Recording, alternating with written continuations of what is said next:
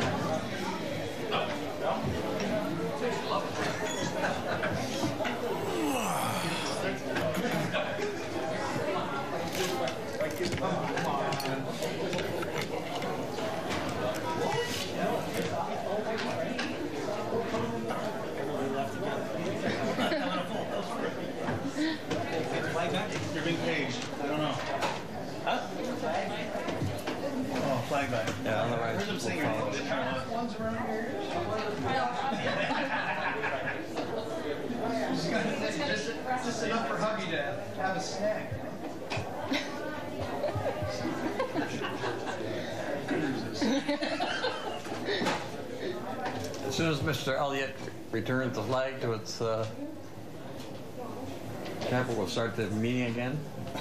Restart the meeting. No.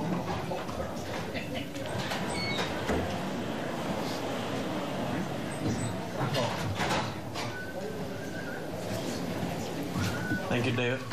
You're welcome, sir. Madam Clerk, are there any addendum or delegation items this evening? Thank you, Mr. Mayor. Yes, there are. Um, There is uh, one addendum item, um, that being correspondence from Niagara Region regarding uh, consent to increase the composition of regional council, and uh, councilors will see that's addendum item uh, 20. In addition, uh, we have a delegation that has registered to speak with regard to item 11. Um, So council may wish to pull that item for uh, consideration earlier on in the agenda. Okay, well, I propose to do is to deal with items 1, 11, and 20 uh, in advance of the bulk of the uh, delegation items so that uh, those individuals here with uh, just those points of concern can, um, can hear their issues and uh, then we can move on to, to the meeting of the whole, allowing them to, to leave.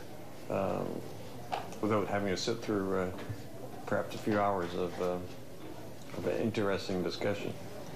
Anyway, uh, can I have a motion to confirm the agenda, please? Moved by Councillor Bodner, seconded by Councillor Doucet. Any discussion? Being none, all those in favor? Is carried. Are there any disclosures of interest this evening?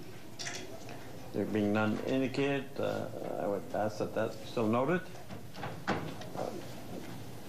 Adoption of minutes, the regular meeting of Committee of the Whole 2517 held on November 27th. I'd entertain a motion to uh, adopt those minutes.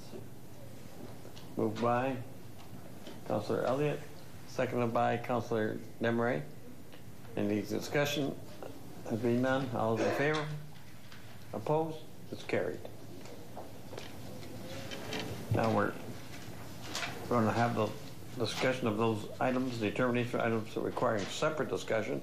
Again, I've indicated uh, a suggestion of uh, Councillor Bodner. Items uh, 3, 11, and 19.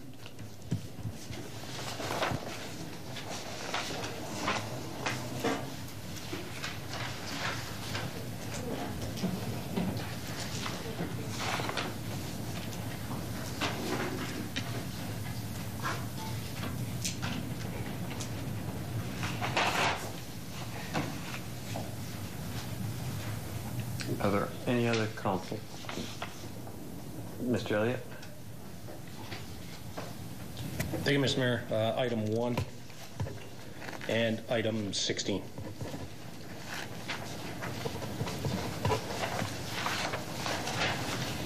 Thank you. Any more to my left? And then to my right, Mr. Mayne. Item two, please.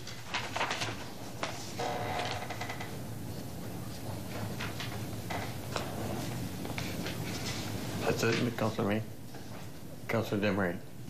Thank you, Mr. Mayor. Uh, Items 17 and 18.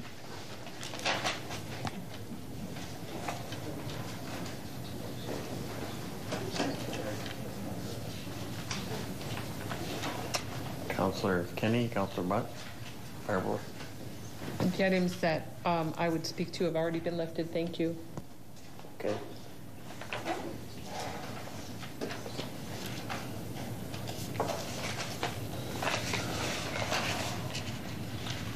We have to deal with item 20 as well. Could uh, someone just, and that's an addendum item, regarding the counselor from West Lincoln, the counselor Desmarais. Thank you. This time I call for approval of items not requiring separate discussion.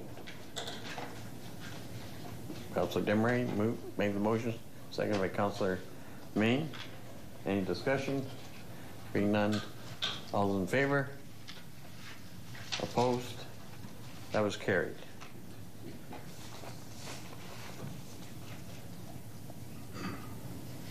We have a number of presentations this evening. Uh, The first is the presentation of uh, Tim Hortons. Is someone here from, to present from Tim Hortons? Would you come forward, please? And uh, Chief Cartwright, if you come up forward.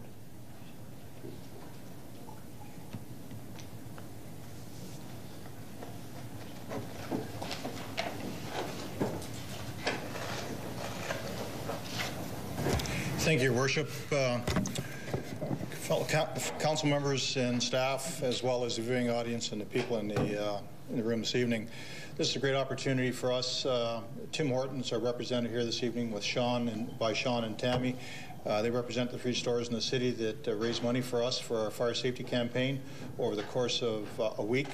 Uh, I've spoken about this in the past to council with regards to the, uh, the check that's going to be presented this evening. I'm also going to ask Scott and my deputy, Mike Bendy, to come up, if they would please, to be part of this. Um, They were a big part in getting this organized, and they were also a big part in making sure that it worked uh, in conjunction with Tim Hortons as well as our firefight- our firefighters to be at the various locations at various times over the course of the seven days. We very much appreciate it, and uh, Sean, if you'd like to say a couple words, by all means. Um, yeah, we, uh, we, we found out about the program they're running in town and figured it'd be a good uh, opportunity for us to raise funds within the town and keep them in, obviously, our own city. Um, so we baked all the cookies, but everyone in town obviously purchased them and supported it. So when the firefighters came out and showed that it was worth, it was a worthy cause, we think it really helped out this year with our, our fundraising. So um, we couldn't help but thank the, the town enough and all of uh, all the firefighters that came out throughout the week and participated in certain events, and we think it was a su- success. So thank you. You guys want to say it? No? Well, we uh, can't thank you enough for this uh, fire safety program. Chief Cartwright uh, reminds us reminds us of the uh, value of this program every council meeting, and his frustration of families that don't have these devices in their home is uh, is apparent, and this will help us spread uh, these devices throughout the city, and uh, we're very appreciative, and I think Chief Cartwright will uh, elaborate on that. Yeah, thank you very much, Your Worship. I'm going to speak just shortly about it now, but I will have a few comments later on with regards to an incident that occurred about a year ago. Uh, I'm not going to talk about that at this time, but maybe in a little while. Uh, the funds that are being provided by Tim Hortons through their efforts and the efforts of our personnel, and in particular the community as a whole, have been very supportive of this particular event. And that the number that you're going to see in a couple of seconds here is certainly going to show just, just how worthwhile this event was. So I very much appreciate it. And uh, by all means, let's uh, get on to the check presentation and uh, some photos. Okay. Your Worship, come down, please. I'll put that up then. It's uh, $8,295 uh, was raised.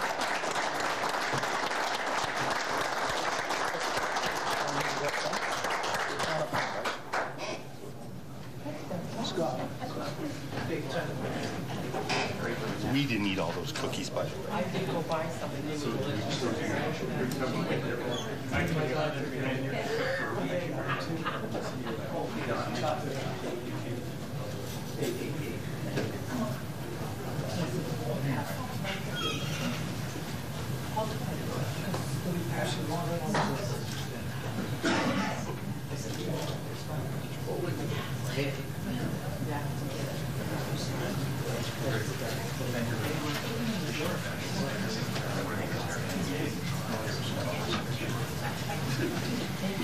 Thank you. We've been there.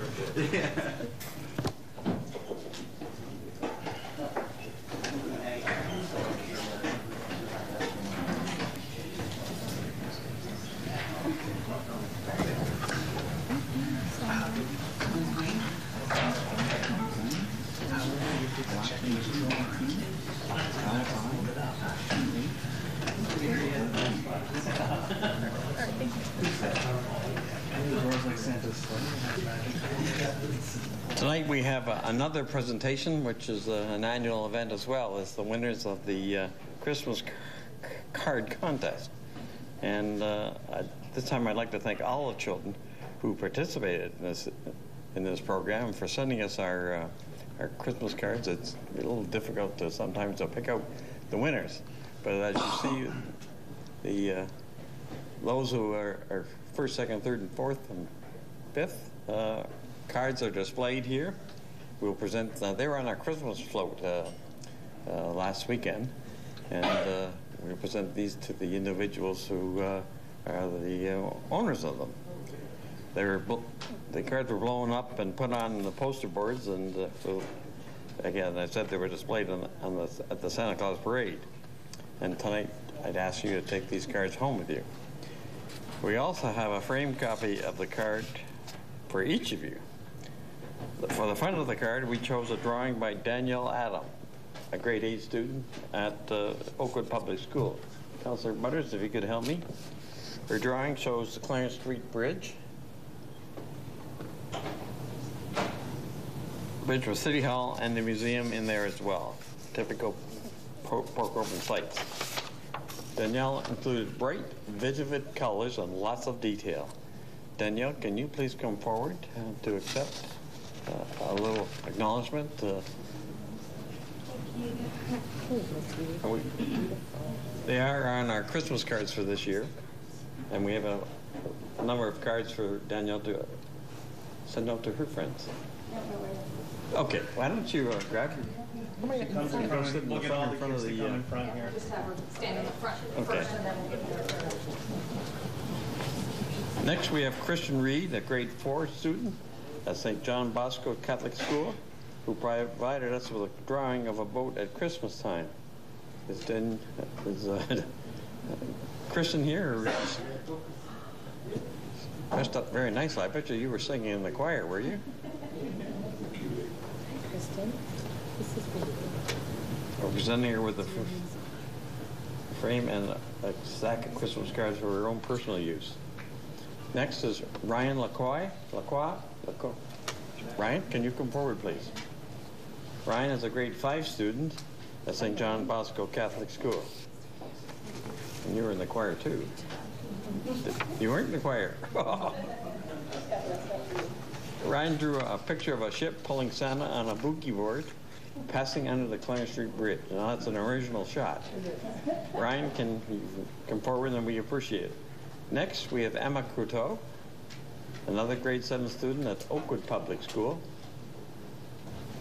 How are you, Emma? Emma, his picture is the entrance of the lighthouses at the Welland Canal. And finally, we have Maya Shambrook, a grade four student at St. John Bosco Catholic School. Maya gives a drawing of children enjoying themselves in the snow at H.H. Park. Now, we'll uh, have the children, perhaps have the children stand behind these photos, or were they? No, we'll get them to them as they go to leave, but we'll get you, Right. get you in there, we'll take you to the small. Perhaps the parents could uh, come forward and take a, a shot of the young artist. Yeah, turn your pictures around.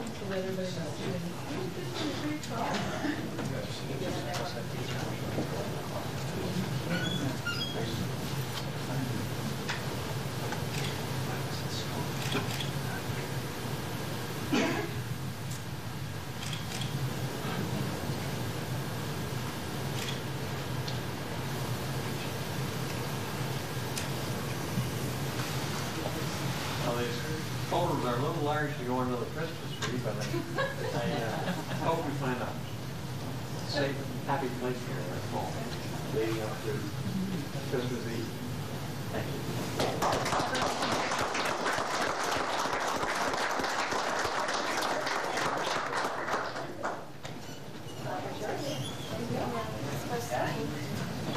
And then wall in your bedroom?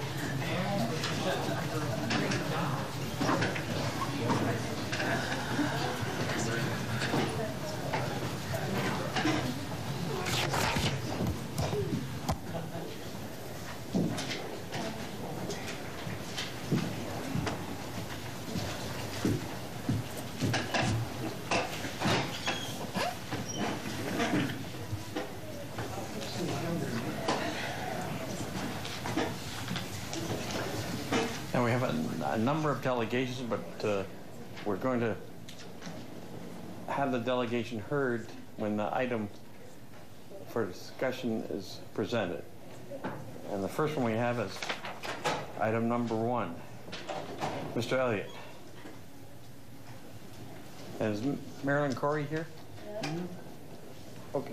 Well, uh, we'll just have the item presented first, then you can come forward. Mr. Yeah, Elliott? she's coming up? Yeah, okay. Uh, Engineering and Operations, Engineering Division Report Number 2017-177, subject request for pedestrian crossing on Clarence Street at Catherine Street. Is there a seconder for the recommendation? Councillor Kenny. Before we vote on it, Mrs. Corey, could you come forward and make your presentation?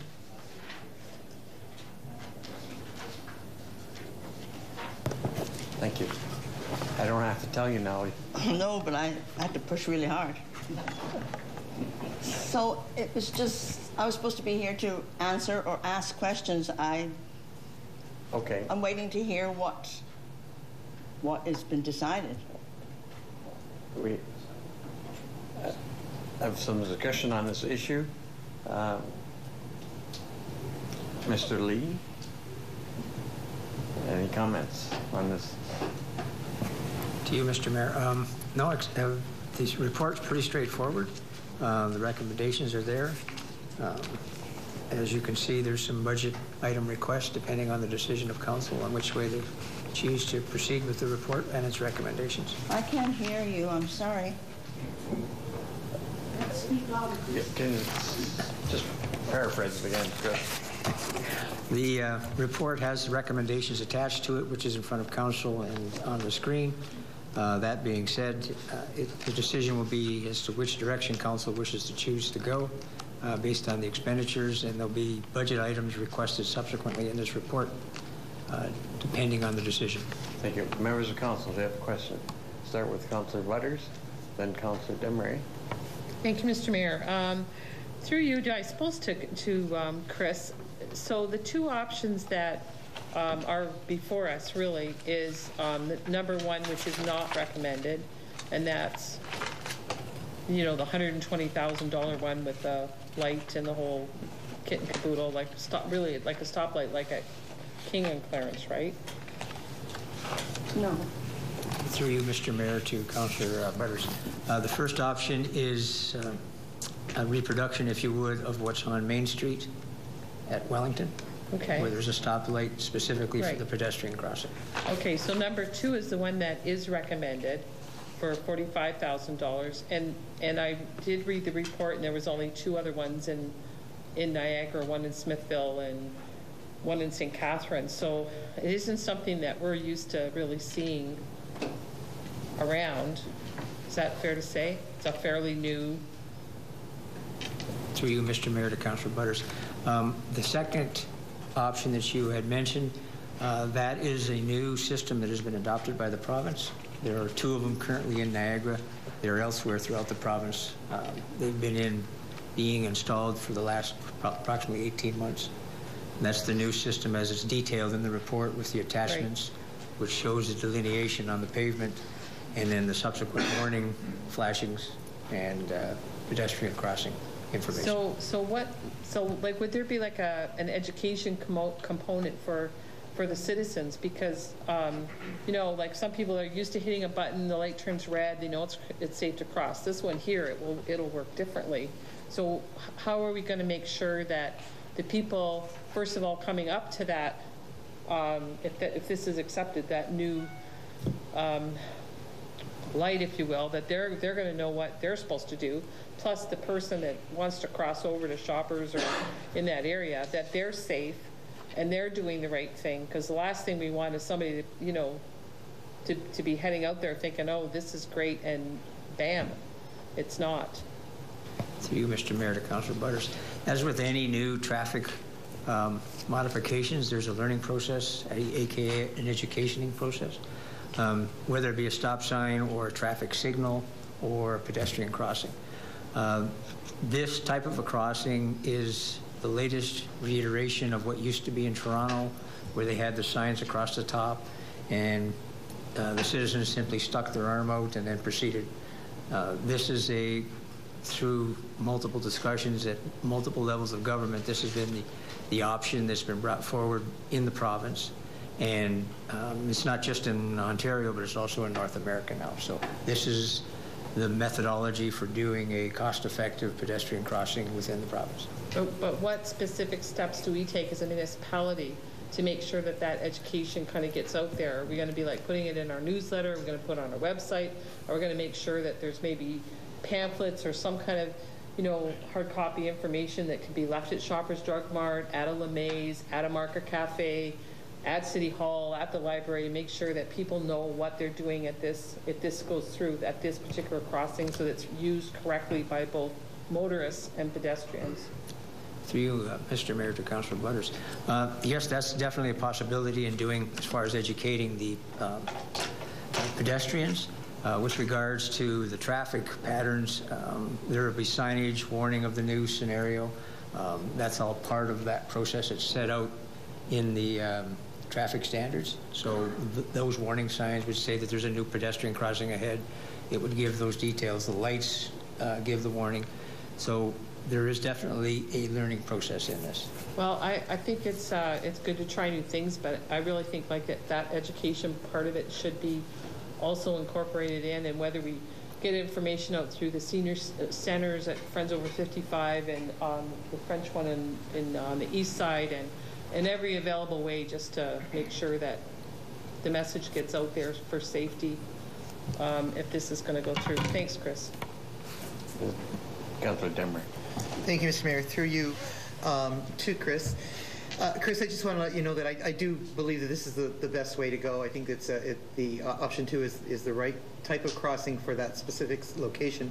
But coming from an active transportation uh, perspective, being the council representative on that committee, um, the committee has discussed this and had already used that type of crossing as uh, an example of the best the best suited for that location. So the active transportation committee is firmly behind this particular crossing. And I know that when we put the crossing on Main Street uh, by Wellington, there was an educa- education component to that as well, because that's less user friendly than this one will be. So, um, and we had uh, brochures that were printed out by the city, and I, I actually took them and delivered them to the nearby houses and to the apartment buildings so that the local uh, people that would be using the crossing would be more familiar with how to use it and what to expect when you do use it. So um, I'm sure that we'll be doing the same things again, but I think this is great. It's a long time coming, and I'm glad to see that it's finally happening and it's the right crossing. That's just all I wanted to say. Thank you. Councilor Bodner? Thank you, Mr. Mayor. Through you to Chris. Chris, uh, tell me how this works. So we've got a blinking light, and uh, somebody comes up, pushes the button, it and activates the light. Um, Is there a length of time? And I can just imagine that spot on a Friday that's very busy, and we want to protect people going across, but we're not going to see traffic backed up across the bridge because there's 50 people going across there pushing the light one after the other. Just explain to me how that'll Through you, Mr. Mayor, to Councilor Bodner. Uh, As, it- if you read in- into some of the detailing in the report, but I'll, I'll explain that in a little, little simpler terms, if I may. Um, The light in the act of crossing flashing is a continuous scenario. And the pedestrian has the right-of-way in the crossing. Once, and all the warning signs state that ahead of time, yield to pedestrians in the crossing. So if there is no person within that crossing, there'll still be a slowing down component to the traffic, but they will be able to proceed through. Once an individual is in that, then they indicate that they're stepping out, either by their, however, their hand or however, and then they have the right-of-way within that crossing. So then it's mandatory under the Highway Traffic Act that the individuals in a vehicle have to stop at that crossing when there's a pedestrian in it. Sure, and I think that's part of getting that information out, not just for the people that are walking, but we could see on a busy day, traffic stop there for, uh, you know, a length of time, I would say, by everybody coming and going across there. There- I just, uh, you know, I was concerned by that aspect also, where you would have cars then backed up, you know, could be quite a ways. And I know we want to solve one problem, but we don't want to, I think, uh, you know, create something else. But I guess we won't know that until we actually see it in action. But, uh, you know, have, nobody's had that experience, I'm sure, if these are the recommended ones now. Through you, uh, Mr. Mayor, to Councillor Bodner. Um, it, as you had indicated, it's a very uh, new system. It's only been around for a very short period of time. Um, we don't have any current information that would indicate the traffic volumes, pedestrian volumes, I should say, that would potentially be there in the Market Square scenario. But that's a learning lesson as well. Thank you, Mr. Bodner. Councilor Kenny, then Councilor Elliott. Councilor Kenny? then Councilor Rain. Thank you, thank you, Your- thank you, Your Worship. Excuse, excuse my voice. Um, I was told by the physician on call last night at the hospital I talk too much. So he told me to limit my talking, that that's why I have. So I'm going to do my best for you to hear me. The one thing I don't like about this design is right away, if you read on there, you're talking about bump outs. I don't like bump outs. I, I don't think they're good. We haven't even finished. Uh, we've, we're doing our CIP and, and we're going to be discussing all that. I don't want bump out here. It says uh, means to, to make the distance less for you. There's a curve that goes out farther. So you have to kind of go around. It reduces, um, if you have read the report, uh, parking in front of the Market Cafe and um, Leme's Meats because they don't want anybody parking in that particular area. But I don't like bump outs. Um, you don't have bump outs on Main Street, and it's a way busier street. Um, so, and you push the button and you get a chance to cross. So I will not be voting if you're going to put bump outs there. What, what happened for you, your worship, to Chris? What happened to a simple stop sign? You stop, they cross, you move. That's it. And uh, so that's, that's about the best I can do. But um, I do think we have to address this area. Very important. Thank you, Marilyn, for coming forward and even making us more. We knew we knew it was there, but um, Thank you, Councilor. Councilor Elliott. Through you, Mr. Mayor, to uh, Councillor Kenny. Um, As it- it's it- in the text of the report, there's comments about the the pros and cons of a stop sign and the problems with that. Um, Stop signs are not recommended on arterial roads of this type uh, because of traffic congestion that they cause and all those issues, which is why staff didn't recommend a stop sign. Councilor Elliott. Thank you, Mr. Mayor. Um, I'll support the uh, staff recommendation. I have actually seen these in use um, out of province. Uh, As a matter of fact, in downtown Halifax, they have them. And actually, what Councilor Bodner spoke to is one of the issues that, that I did notice um, with the repetitive use of the crossing. Um, They're great because when they flash, there is, there is no doubt you know where the crossing is, the lights, you can't miss them. Um, And it, and it does identify there's a crossing ahead and stop for pedestrians when they're in the crosswalk. The only problem that I saw with it was that if one person pushed the button and the lights flashed and they walked across the road, everybody stopped. So that one person crosses the road, the lights go out over, over a period of time, and then one other person pushed the button and crossed the road. Now it didn't let, there wasn't enough downtime between crossings to allow the traffic to flow um, after the one person had crossed. So it became repetitive. One or two people would cross, the light would go out for a short period of time, somebody else would push it, traffic had to stop again, and it, and it backed up traffic. My question would be, can you program it so that once it shuts off after a specified length for crossing, can you stop it for a specified length of time, 30 seconds, 45 seconds, or a minute, to allow the queued-up traffic to clear before it can be activated again? Through you, Mr. Mayor, to Councillor Elliott. Um, I would be fairly certain that that programmable feature would be available as an option to uh, the uh, software that controls the lighting and the switching. So that would be simply a timing issue. Okay. Um, And I'll, I'll speak on the positive side of the bump outs, because one of, one of the problems that we've had with that intersection has been cars parked close to the corner where when people stop, step off the curb to cross, you can't see past the parked cars that are there. And cars that are traveling down Clarence don't get to see somebody till they've stepped out. This solves two problems. Yes, it reduces the, the width of the road to cross for pedestrians, but it also allows the pedestrians, if you take a look at the, at the, the drawing on page 20, and you see where the red line delineates the bump outs, it's only as wide as a car.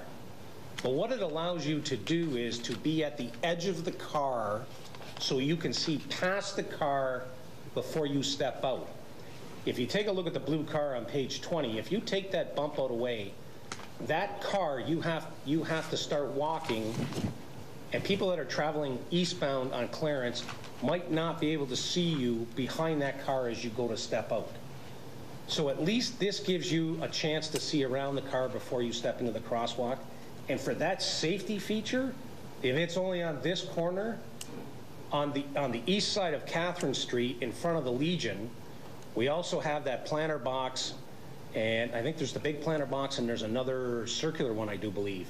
That's an issue for sight lines for people to see around.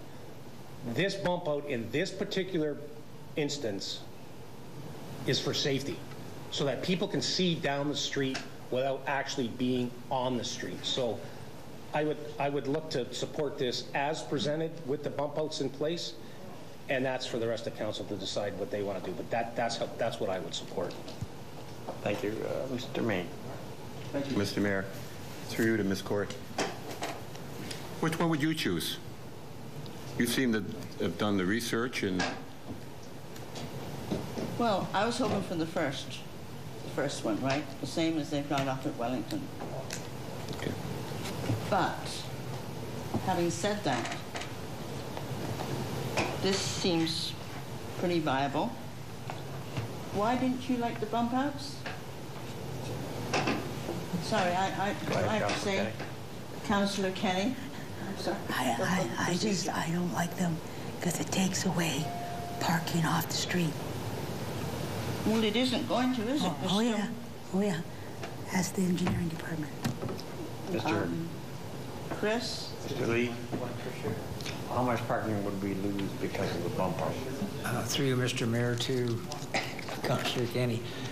Um, Essentially, it's just going to tip the ends off if you look at the sketch, because there's the parking restrictions already from the corner, but this is, the problem is, is that people don't adhere to those restrictions. And so they end up parking in areas where they're not supposed to. Um, Legal parking stalls, if you look at this, there's really only one that's being eliminated.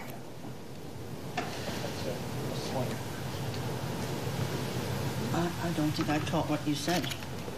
There's still going to be parking on that street. Yeah, Through you, That's right Mayor, to. Well, it's not to the corner now. There's a space between the par- one parking spot and the corner. Yeah, that's where the green part is. Mr. Mayne, you had another Yes, uh, I can support anything that, uh, these, these people have done a lot of work on this. Uh, I prefer the Wellington one as well, because you only use it when there's a person to stop by. Uh, To me, that flashing light to warn people of a crosswalk might be a deterrent for, for traffic, but having said that, uh, I don't have a concern with traffic. We've got a population of, well, depending on which sign you look at, uh, I, I don't, I can't even get that into my mind that people would be upset about having to wait for the bridge and backed up when, if you look at uh, Charlotte and King, we have a four-way stop there, four stop signs. A problem, so uh, I would support uh, the recommended one, number two, uh, if that satisfies the people who are going to use it. I know that's putting the onus on you, uh, but uh, I would support either one of those. I would support the Wellington uh, business or number two. the, the new one? Well, when I first came here to present it, when I, I said I would like one, but I didn't think I'd get it because of the expense, okay? So I was prepared to take whatever. But then Councillor Desmarais explained about what happened up at the um, Wellington, and it kind of threw me off because it's a regional road. So, and the re- region refused to do it because they didn't see the need. So then Councillor Desmarais says, well, so we had to do it. Well, I was told that down here, if, if that was a regional road, there's no way the city's going to do it. So how come the city did do the one up there? And, and, I may add, with a petition of only 48 names, and I put forth a petition almost 1,600 names, I'd like to know what the difference is. It's more busy Mr. Lee, can here. you comment on that? I think, I think he wants to answer. Do you want to answer, Mr. Desmarais? I think it was Bob Ford, Meadow Ward. Okay. Thank you, Mr. Mayor. Through you, um, I can tell you, Mrs. Corey, exactly what happened. We just got to the point where Councillor uh, Doucet and I were just hearing from the constituents in that area constantly. They put a petition together, and there was only 48 names, you're correct. Um, But they kept coming to us, and we finally got to the point where we came to council enough times and just really got fed up with the whole situation. Said, look, you know, if the region doesn't want to pay for it, fine, let's us do it. Put it to a council vote, and council approved it. It was, that's how it happened. So if I keep pestering then, and I keep coming back and pestering? No, no, no, no, no. I I think we're ready to make that decision tonight. It's just a matter of what Councillor Mayne was asking you to do is pick the one you like best, and he would, he would like to know that, what you like best. Well, That's I- all. I would like- That's all it was. I, I would like what's up there. Okay. And- and- You like what is proposed? Pardon? You like what is proposed? I'd like um, option A, I think it's, isn't it?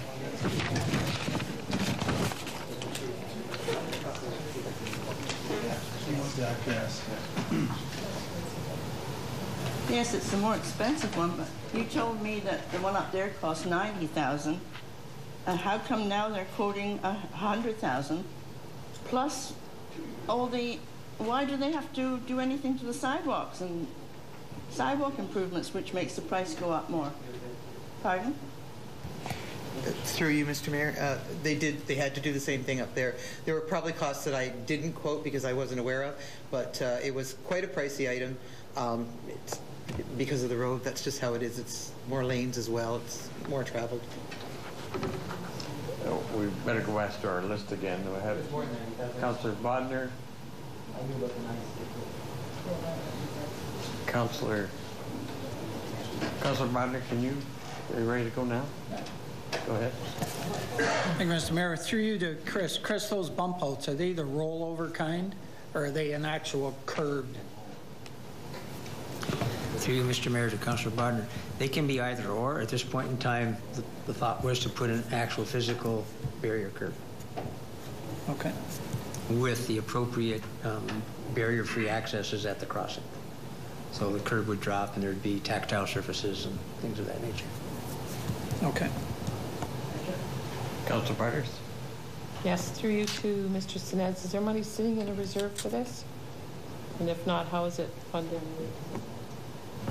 Through you, Mr. Mayor, uh, this would be an item that would have to be brought forward in the 2018 budget. And what does um, 100 and some thousand dollars represent as far as a percentage? If, the- if we had to put it on the levy, for example? Through you, Mr. Mayor, it would be an item that would uh, more than likely come out of the existing capital levy. Okay. Are we all good as our, as our questions go?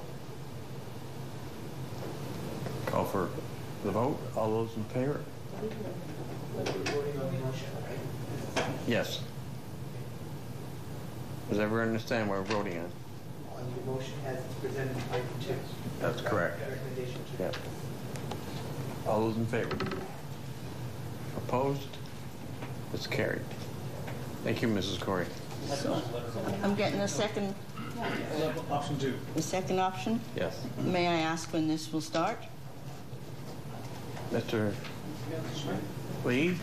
Through you, Mr. Mayor, to uh, council at large, uh, we can initiate the design process immediately. Um, The only issue will be making certain that the council approves it in the 2018 budget to initiate construction. So we're gonna wait on the council to approve it for the budget? Well, we've gotta get the money approved. Is that what you're saying? Yes. How long will that take? Was it fair to say sometime in the spring, Mr. Lee? To give her a target date? Uh, To you, Mr. Mayor, yes. uh, As soon as the budget's approved, the budget's coming through in the first part of the new year, I understand. So it'll be in front of council. Well, it'll be a little bit later than that, the first part of the new year. Mr. Senese, do you have a more accurate? Through you, Mr. Mayor, um, normally we we do, are- are able to provide uh, the approval of the budget by at least the end of March. So it's a priority item from the end of March. So we'd hope to have you back late spring, uh, Have me back for what? just to say thank you, council. Oh. I thought you meant you were gonna give me another hard time. No, not at all. Okay, very, very good, thank you. Thank you, Mrs. Corey.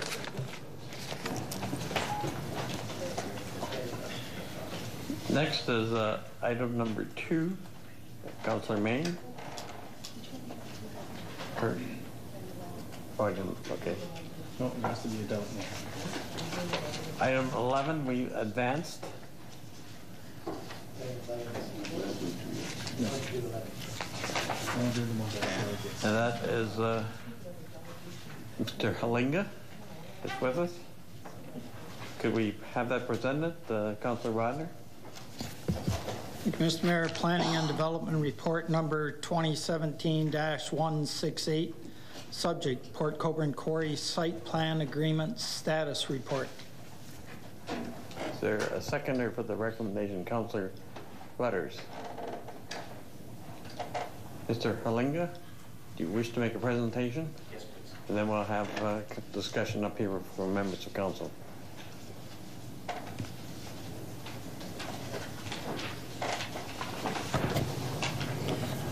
Thank you, Mr. Mayor, councilors, staff, and members of the public.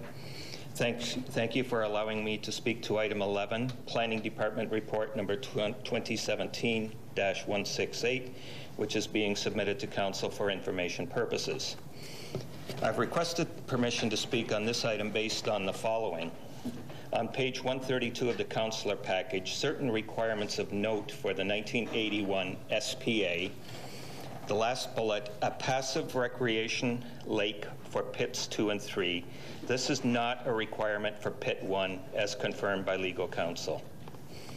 This is based on page 147, clause 14 of the SPA, which reads, the quarries has as a condition of licensing pursuant to the Pits and Quarries Control Act agreed to undertake and maintain a rehabilitation program comprising a passive recreational lake which would only be used by sailboats, canoes, and rowboats. The quarries, however, reserve the right to change the type of rehabilitation program subject to concurrence by both the Ministry of Natural Resources and the City of Port Colborne and the resultant amending of this agreement.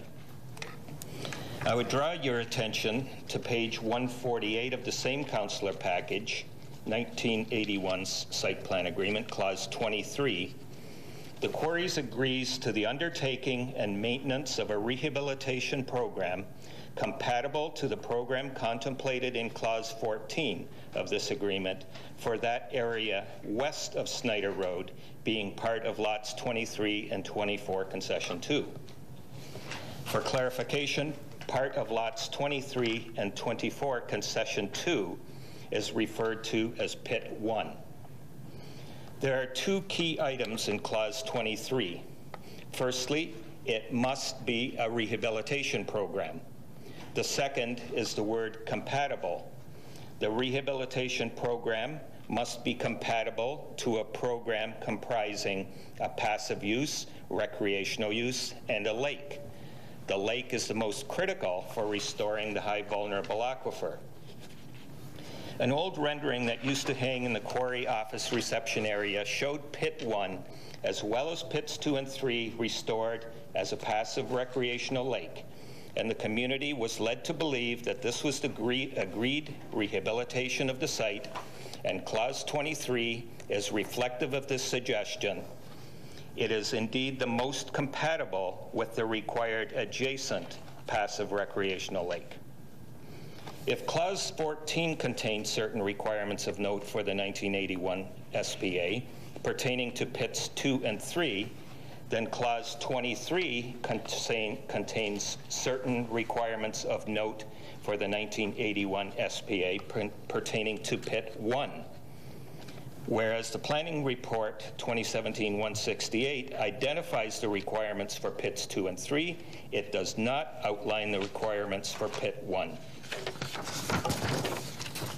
Schedule A has been compiled in plan form on page 162 of your package.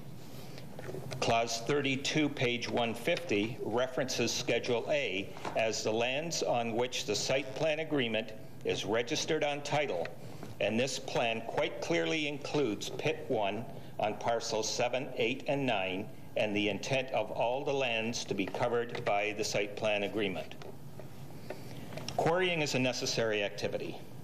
Quarrying is further recognized as an interim use with return to alternate compatible post-quarrying use directed in the license, and for this quarry in the 1981 site plan agreement. Since quarrying in this instance was allowed below the natural water level, a water re rehabilitation is required. This is also within the designated and recognized high vulnerable aquifer. The alternative would have been to allow quarrying only to the top water level replacing the overburden and returning the lands to agriculture. This would reduce the volume of aggregate by about 50%. With the present lack of conformance to rehabilitation, it strongly indicated that perhaps any future quarry license should only allow the second alternative. I've heard it intimated that it will take 100 years for the quarry to refill with water. There's simple arithmetic to correct this misleading information. Port Colborne receives an average of one meter of precipitation per year. The quarry is mined to approximately seven meters below the natural groundwater level. By simple arithmetic, not counting infiltration or exfiltration through the rock, it will take a maximum of seven years for the top water level to stabilize. A site plan agreement is not a starting point for compromise. It's the culmination of negotiations. Without this approved site plan agreement, rezoning and OP amendment would not have been approved in this form and quarrying would not have been licensed in this manner. Perhaps the license should only have allowed quarrying to the top water level of the aquifer. Agreeing on a site plan, proceeding accordingly, and asking for changes after the completion of mining is not being forthright. The MNRF issues and controls the quarrying license now under the Aggregate Resources Act. The site plan agreement is a condition of the license, but the agreement is between the city and the quarry and thus cannot be enforced by the MNRF. So this is the responsibility that falls with the city. The site plan agreement in clause 17, page 147, also requires conformance with the Pits and Quarries Control Act, which is now the Aggregate Resources Act, and thus the city can enforce the stipulated license rehabilitation requirements for pits two and three and conformance of a compatible nature for pits one. On this basis, I respectfully request that Planning Department Report number 2017-168 be referred back to staff for further consultation and revision. Thank you, Mr. Halinga. Are there questions on this uh, issue? Or questions to Mr. Halinga? Mr. Bodner? Oh, questions of staff? Yeah, I was going to say, Dan, um, so we've heard what Jack has to say. Um, I believe in your report obviously differs. If you go back and do some more research, how would you what would you check to, to make sure that our report from the city is accurate? Um, the world according to Jack says it isn't. Um, You know, how, what, what do you think would change if, if we send it back to you? Through you, Mr. Mayor, to Councillor Bodner, I've already consulted legal counsel, and they're going to look at the entire agreement again, but this time, I guess, with a fine-tooth comb, based on Mr. Halinga's information. And then once that determination or opinion is given, I can inform council of that decision. And Mr. Mayor, that's, I think that's a reasonable, you know, Jack's brought up some pretty serious stuff that changes this report. And at some point, we've got to get to, you know, uh, some comfort level we have that, you know, the report's carved in stone. So I don't think that's an unreasonable request from Mr. Linga to have us uh, send it back, and I'd be happy to make that recommendation uh, after we hear from some other people. Mr. Elliott. Thank you, Mr. Mayor. Um, Through you, and I guess a a comment and a question. I support the rehabilitation of the quarries, and I'll state that publicly. When you go around and you take a look at all the other quarries throughout Ontario and- and states, they're all rehabilitated. And I understand that, that the owners of the quarry right now are going for rezoning. But my, my question would be, this was agreed to in 1982, correct? 1982, 81. Through Mr. Mayor, uh, 1981 is the actual date of the agreement. 81, okay, is the date of the agreement. So prior to that, there was no license for Pit 1, correct? That's correct. And the owners, the owners of the quarry knew that at the time that they entered into this agreement, right? They knew that there wasn't a license for the quarry, so they weren't mandated under license to rehabilitate the quarry. Yet in this agreement, they put in clause 23 that says, "The quarries agrees to the undertaking and maintenance of a re- rehabilitation program compatible to the program contemplated in clause 14, which is the rehabilitation program for pits 2 and 3." So knowing that they didn't have to rehabilitate one under, because there was no license, they openly accepted clause 23 that says the quarries agree to the undertaking and maintenance of a rehabilitation program. So what that says to me, and I'm no lawyer, and Jack's far smarter than I am, and the people that own the quarry are, but that says to me that while we know there's no license and we're not forced by law to rehabilitate, we're going to put that clause in because it's the right thing to do. So they've got it in writing that we're going to agree to rehabilitate even though we know that we don't have to. So is, is, is the intent of the agreement taken at face value? That when this was signed in 1981, that's what the owners of the day intended to do was to rehabilitate Pit 1? That's my question. Through Mr. Mayor to Councilor Elliott, I can't comment on that. The, I, I wasn't around in 1981, and I have no documentation in the files that say that the quarry was going to do that, but you are correct, it's in the actual agreement. And, and that's where I think part of the, a lot of the discussion comes from, is that, yes, it, it's not under, it's not under license or wasn't under license when it was quarried, but they did agree to, to rehabilitate under, or the, the, uh, let me put my glasses back and I can read it. Agrees to undertaking maintenance of a rehabilitation compatible to the program contemplated in clause 14 for the other two. So they knew that going ahead, once they, once they finished off two and three, they were going to rehabilitate, and we're going to use the same program to re- rehabilitate one as we did for pits two and three. I think that's admission that, that that's what site plan should be, is that, here it is. We admit we're going to rehabilitate pit one as well as rehabilitate, rehabilitate pits two and three. So I'd like to, I'd like to get a comment on that from, from staff, from legal, if we can, to see what their interpretation of that particular clause would be. Through, through Mr. Mayor to Councilor Elliott, as I said, uh, our legal counsel will be informing me as to what the actual agreement indicates needs to be done or can be done. Thank you. Councilor Desmarais and then Councilor Butters. Thank you, Mr. Mayor. Uh, Through you to Dan. Dan, uh, thank you for sending this off to legal. I think that's where it, it does belong. And I just wondered, do you have some idea as to when this is likely to come back to us? Through Mr. Mayor to Councillor Desmarais, I, I talked to legal. Um, they are aware that I would like to have the uh, information sooner than later. I can't actually confirm when it's going to be received, but I hopefully, you know, my plan or goal is that it be um, sooner than later. Okay, thank you. And I just would also like to state that I, I also support the rehabilitation of this quarry, of all quarries for that matter. And um, I agree with both my fellow councillors on how we need to move forward with this. Councillor Butters?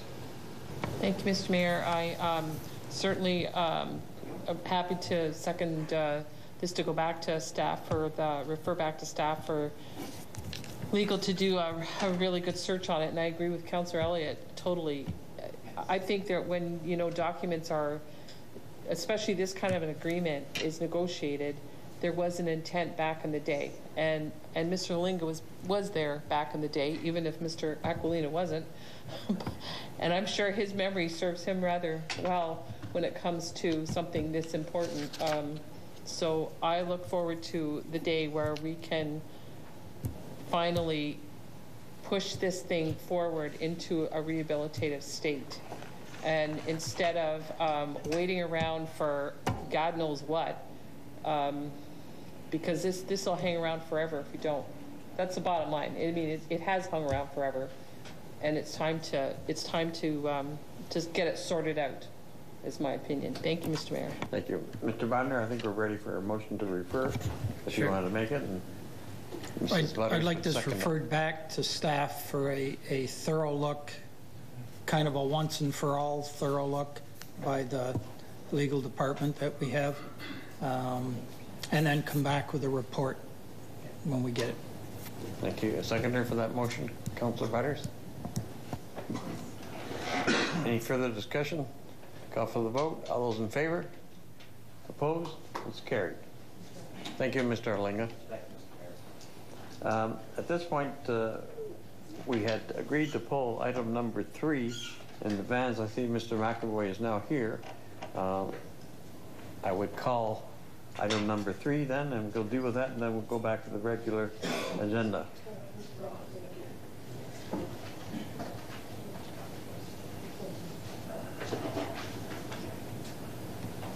Ron, uh, Thank you, Mr. Mayor. Community and Corporate Services, Corporate Services Division, Report Number 2017-191, Subject, Property and Liability Insurance Policy Renewal. is there a motion, or a seconder for the motion?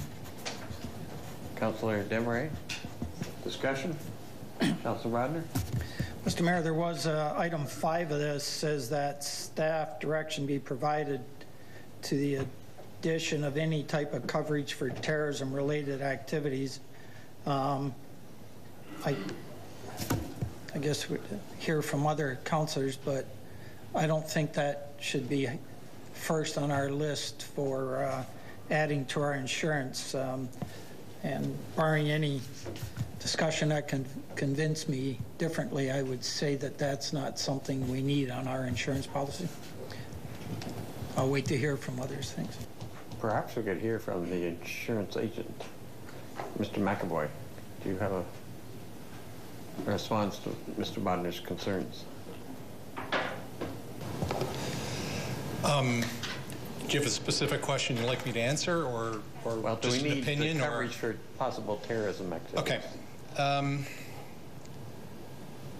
If if you read my report, uh, you'll see that that was not one of my initial recommendations.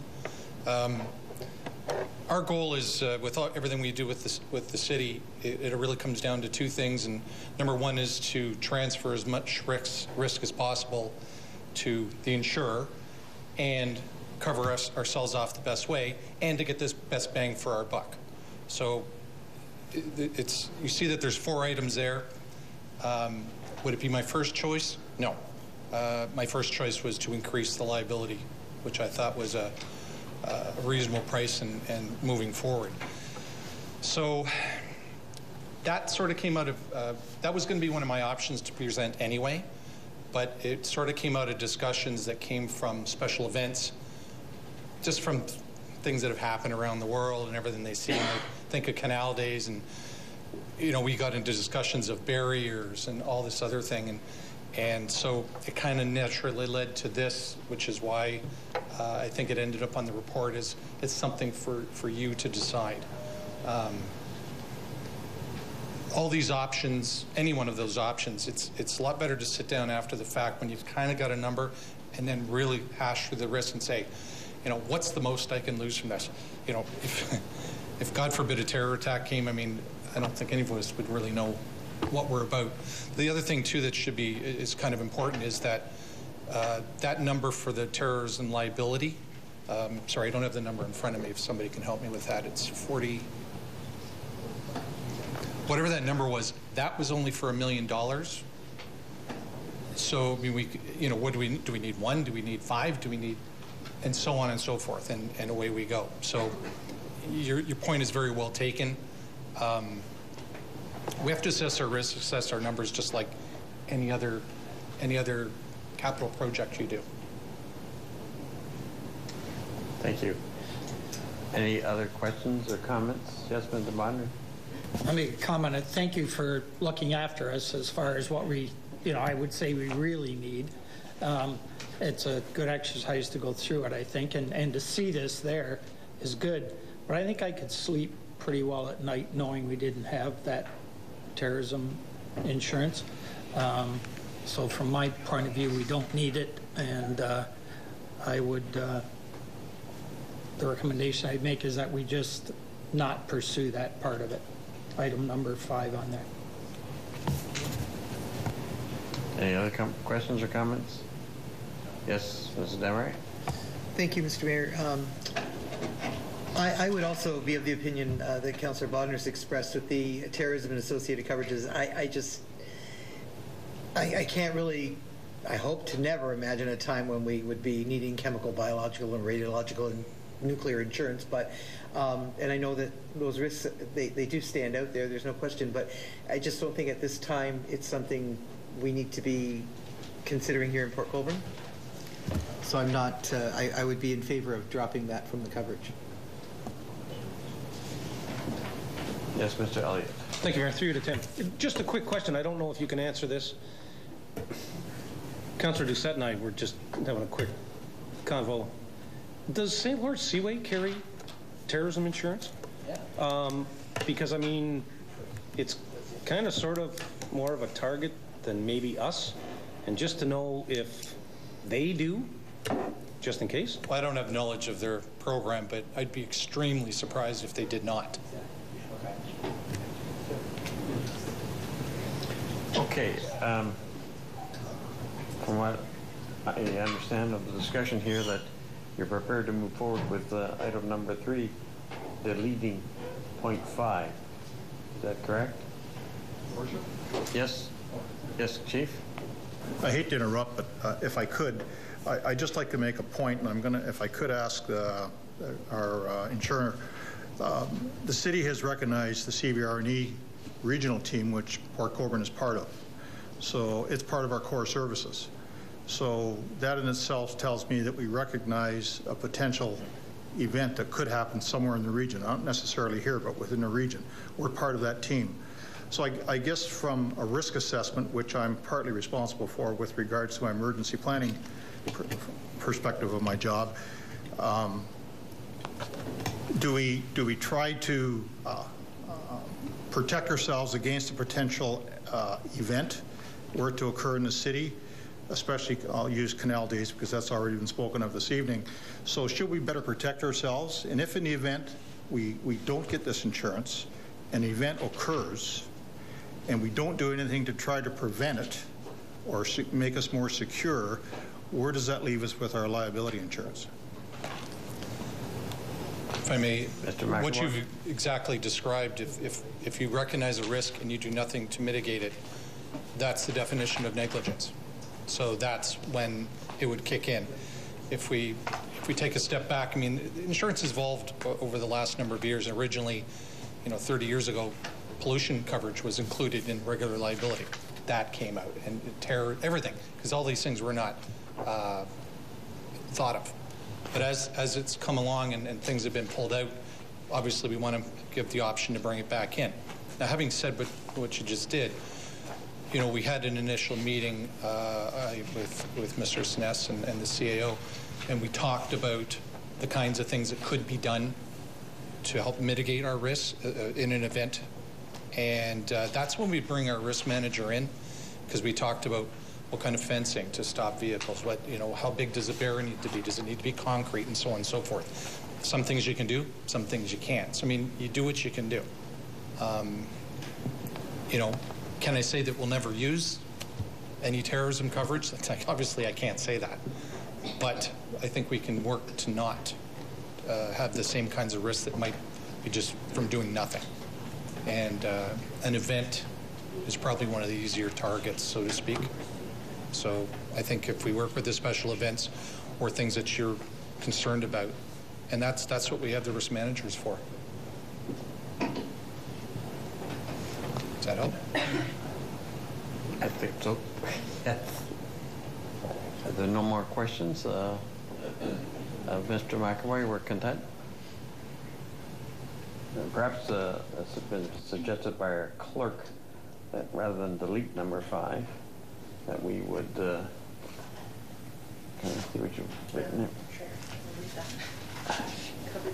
The number five would be amended that uh, coverage, et cetera, on terrorism-related actions not be pursued at this time. Still leaves the door open. Mr. Bodner, do you want to make that amendment? I'm good with that, Mr. Mayor. And Mr. Butters or. Desmarais, you're good with it? Second it? Okay, is everybody clear then on the question? As amended. All those in favor? Opposed?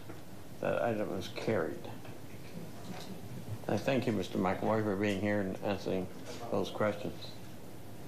Okay, I think at this time we should return to the agenda now that we have cleared the chambers of potential delegates. So I will move on to uh, mayor's report. Uh, As you all are familiar, Ashley Grigg, our city council, or city clerk, who has been guiding us through our council meetings since 2010. Uh, I'm sad to say that Ashley will no longer be guiding us uh, through these meetings, and I, it'll be a personal loss for myself.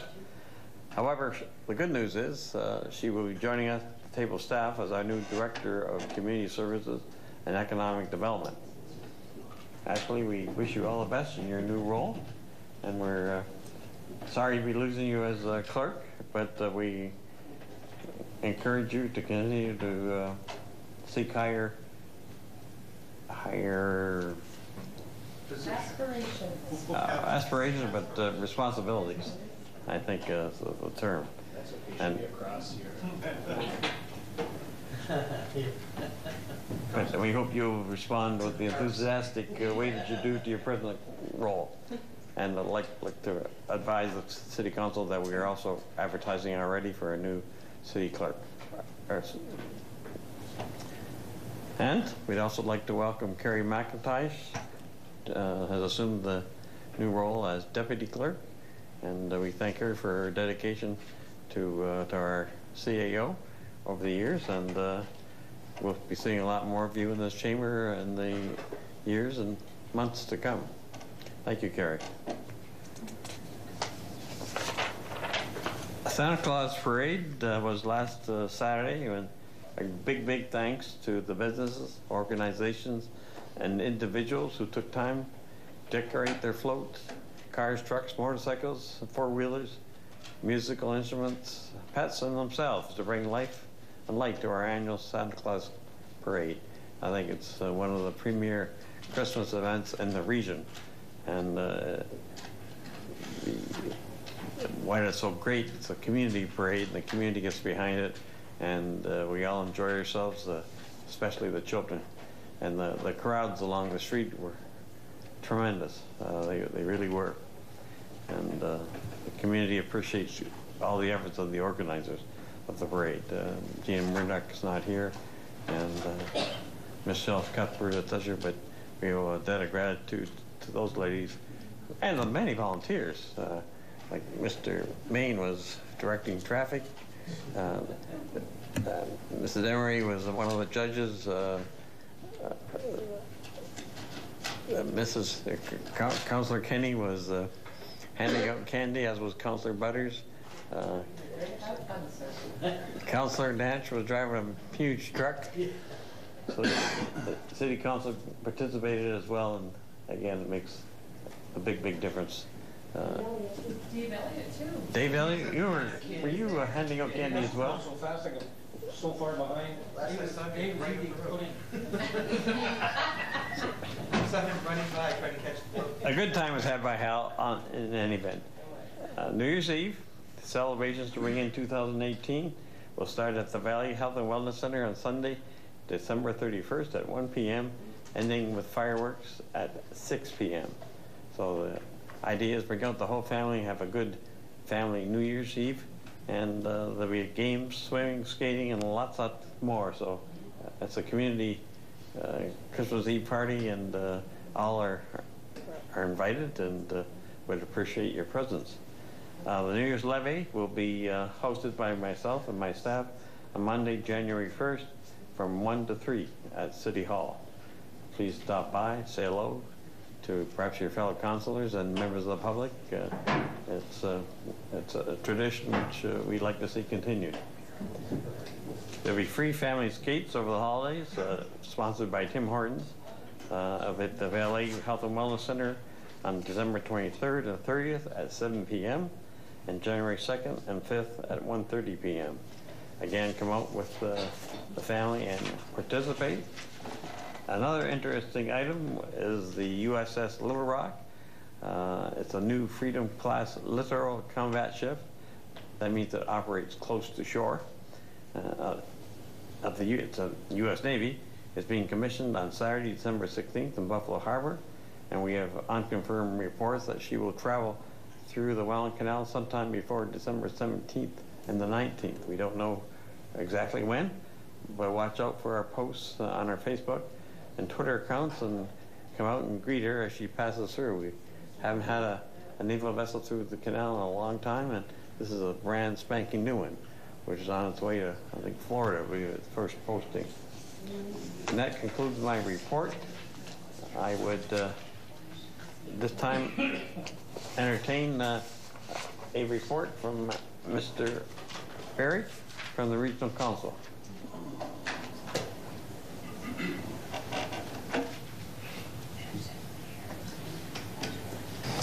Good evening, Merry Christmas, Happy Holidays. It's always a pleasure to be here this time of year, especially these meetings when we get to see our homegrown talent uh, singing and speaking, in this case from St. John uh, Bosco, which I, I'm happy to be an alumni from that school as well. Um, so it's great to see. Um, congratulations to the city clerk as well from, for the uh, position um, change. I see skirted uh, the work involved with a, another election next year, so I'm sure that has something to do with your decision making. It certainly would be for me if I was in your shoes. Well done as always. Uh, this evening, Mayor, I do have a, a couple of announcements, in particular with respect to the approval of the Region 2018 budget. The entire budget was approved last Thursday, totaling $1.1 billion, and we are ensuring the continued delivery of high-quality programs and services that the community has come to expect, and funding uh, is being maintained and approved for infrastructure and assets. As with all budgets approved this term of council, as you well know, Mayor, um, the focus for 2018 is on balance. The budget approved last week, I would say, strikes a balance between taxpayer affordability, maintaining critical services and infrastructure, and making investments in strategic areas that will support a more prosperous Niagara. Residents will see a 2% increase on the region's uh, portion of the tax bill. Some of the highlights include an increase to frontline police officers, an additional 24-hour ambulance to provide quality, timely paramedic service, additional funding to support Niagara Specialized Transit, a service that provides transportation options for some of the most vulnerable residents in our community, funding to continue with the consolidation of public transit across the region, funding to combat the emerald ash borer in the Niagara region, and an initial budget allocation in support of the 2021 Canada Summer Games held right here in the Niagara region.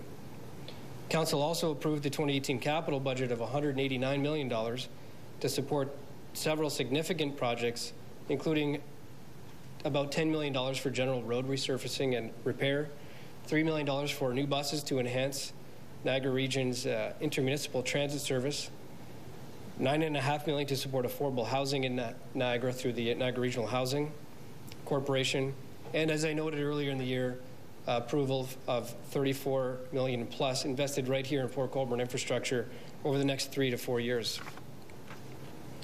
Again, I believe the 2018 budget puts affordability of our ratepayers first, while still continuing to fund things that our residents rely on every day.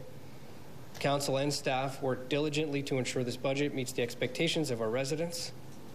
I'm confident this budget will continue to move Niagara toward prosperity, and I'm particularly proud, Mayor, of the fiscal responsibility this, this council term has demonstrated with an average increase of 1.48% per year for 2015, 2016, 2017, and 2018. 1.48% on the, on the levy per year.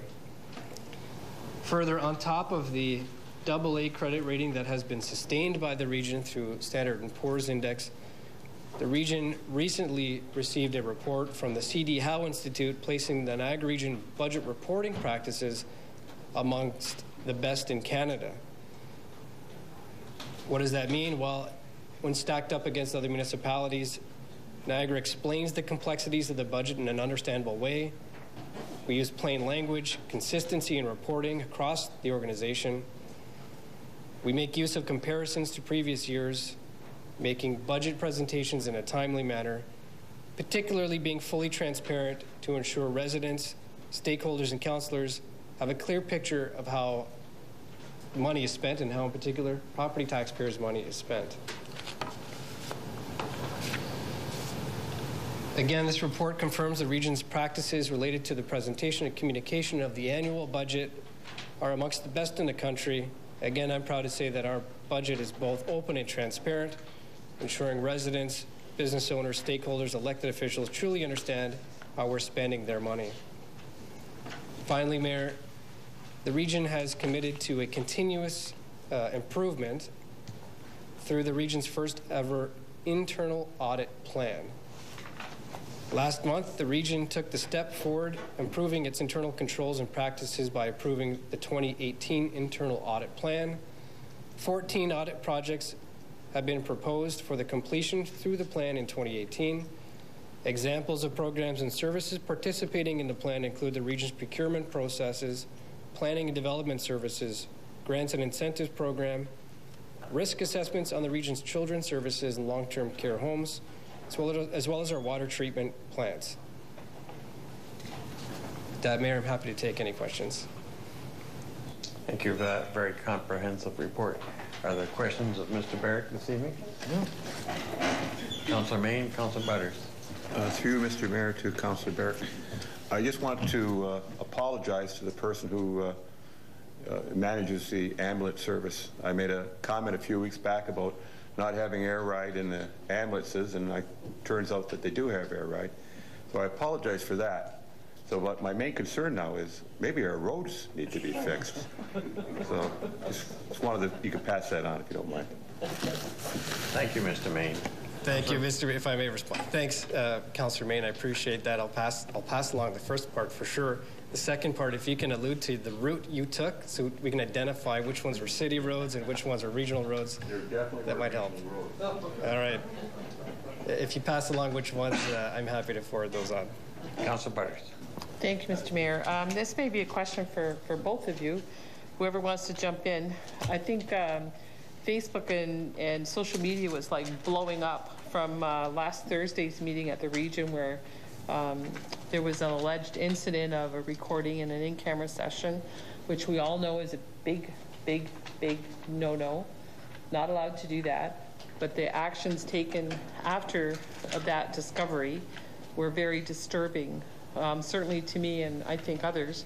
I think it's always good to, to learn from these situations, and I, and I wonder if our own staff is prepared for that kind of a situation, and I would certainly hope, you know, police wouldn't be called and things seized, but um, I wonder if from your own perspective, now you've had like some days to think, think about it. I mean, it had to been a bit of a jolt to um, those present. Um, you know, what would you have done differently, if anything? Um, what's your thoughts on it going forward? Thank you. Councillor Barrick? Thank you, Mayor. Thank you, Councillor Butters, for the question. I was called by the media as well, and I, and I responded, and I think I was quoted in the paper as well with some commentary. Um, so, although the session was in camera, I don't mind speaking to some of the, the incident that you spoke of because really that wasn't related to the discussion that we had in camera. Um, I can speak to it firsthand because I witnessed a, uh, a um, recording device operating hidden under a hat on the media desk. And uh, so it was identified not by me, although I did witness it being uncovered. And certainly, as you know here, the sensitivities when you're speaking about identifiable individuals and you're speaking with uh, legal and HR, et cetera. And so, to your point, I think you used the word jolt. It was. And uh, immediately, um, uh, council ceased the discussion, and uh, staff uh, called in the security from the hall, brought it in, and asked that the equipment be removed. Subsequent to that, because we had a relatively full chamber, there was plenty of coats in the gallery. There was still on the media desk uh, additional uh, laptop and equipment that was up and running. And there was a lack of comfort now and a lack of confidence because of that, I would say, a breach of trust uh, by us going in camera and letting people, you know, if we're letting people keep stuff in the room. Um, so that um, several counselors said, look, there's still equipment operating. Again, zero comfort level. Staff had asked, remove the equipment, and the equipment was removed. Council resumed its discussions, having no knowledge of what was occurring out in the hallway until afterwards. And I know subsequent to that, the region apologized to Mr. Sawchuk in particular. I would state that the issue with uh, Mr. Haskell is still ongoing. Um, the CAO apologized to Mr. Sawchuk, and I believe the chair apologized to uh, Mr. Sawchuk for that. Moving forward, uh, it's clear, and you referenced it here. I don't know what your protocol is if that was to occur here, right? So the region is going to come up with some protocols uh, in consultation with the media, in fact, uh, with legal, and with HR and others. Um, so hopefully that'll address kind of moving forward. It wasn't an unfortunate incident, and uh, I can assure you, though, no one counselor or council as a whole uh, made decision or direction to move ahead in that manner. Uh, we just wanted the equipment out so we could resume our meeting, and that's what that's what happened. I hope that helps. Thank you. Mr. Luey? Sure, through your worship to Councillor Butters, I can follow up on the half of your question that was directed to city staff. Uh, we haven't had discussions about this at the staff level, but I've been giving it a lot of thought since the incident was so widely publicized on Thursday.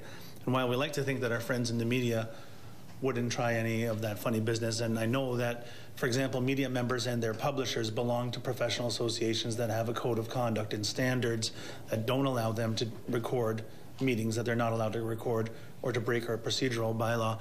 But there's also the social media, and there's, there's, there's people who do make, who aren't held to that standard because they're members of the public. But we do have one thing that the region doesn't have the luxury of having, which is a small council, and the ability to leave this room and go into the other room for a closed session. So I think I'll be working with our new clerk on making sure that our procedural bylaw addresses this well enough. But I think that by making sure that no one from the public gets a chance to put a recording device in our committee room is one thing. And if we ever, for any reason, had to have a meeting in this room that was closed or in camera, we would ask the media to take their belongings, to not leave their belongings behind for their protection and for our protection. So those are the ideas that we've had at the staff level here. I also spoke with an instructor from Niagara College, the journalism course, and they were very concerned about the, uh, the potential limitations on uh, their ability, freedom of, uh, of speech. And, but there are also, there are positive aspects of it that they will uh, uh, perhaps have some protocols at their professional association level uh, to deal with situations of indiv individuals who would uh, uh, attempt to uh, record in-camera meetings of any sort.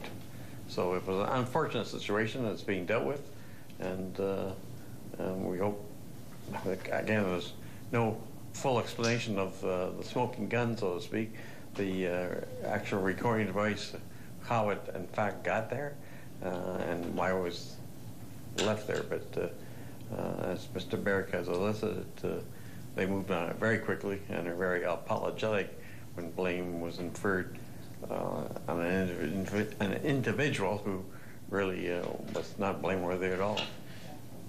And Thank it's a you both for comments. Thank you. Okay, any other questions of Mr. Barrick? There being none, thank you, Mr. Barrick. Moving on to uh, the next agenda item, number 13. Are there any councilors' inquiries that they want to put forward? Councilor Bodner.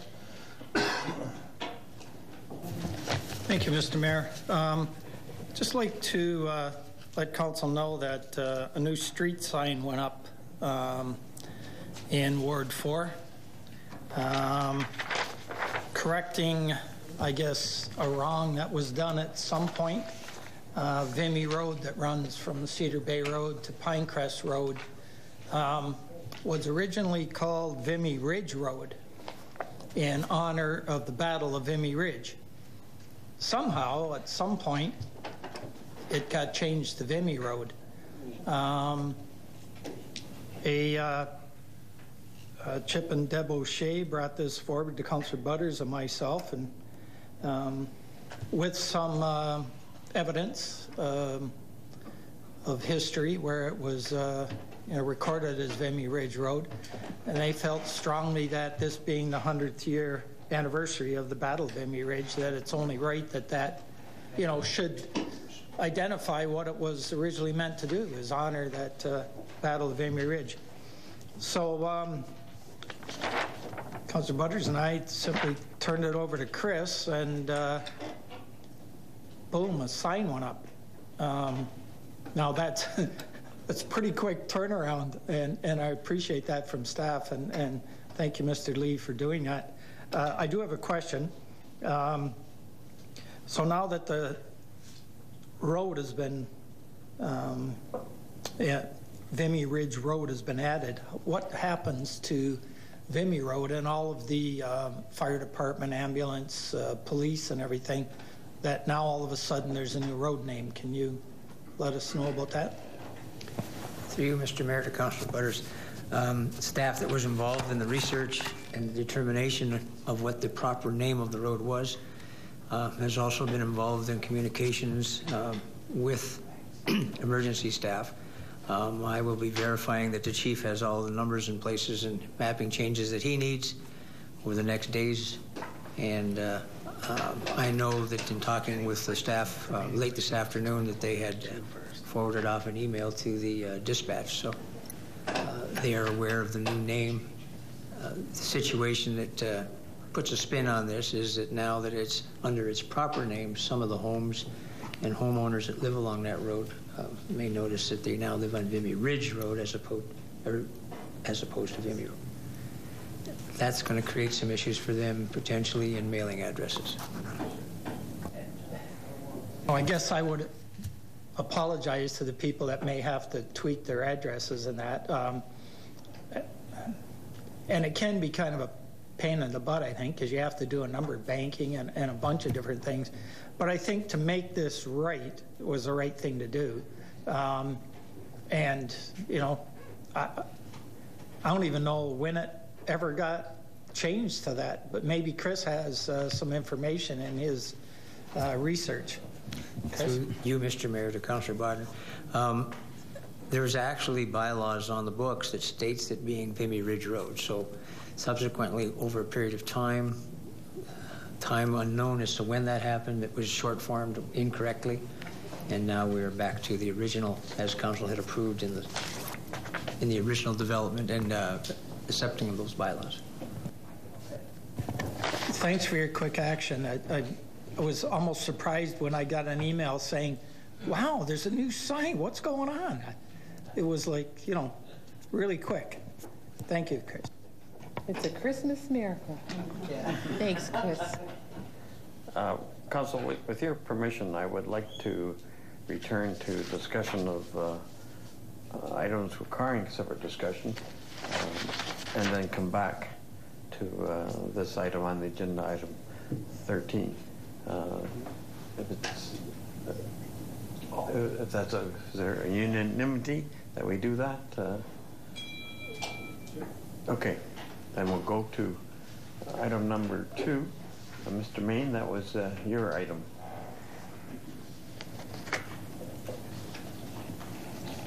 Thank you, Mr. Mayor.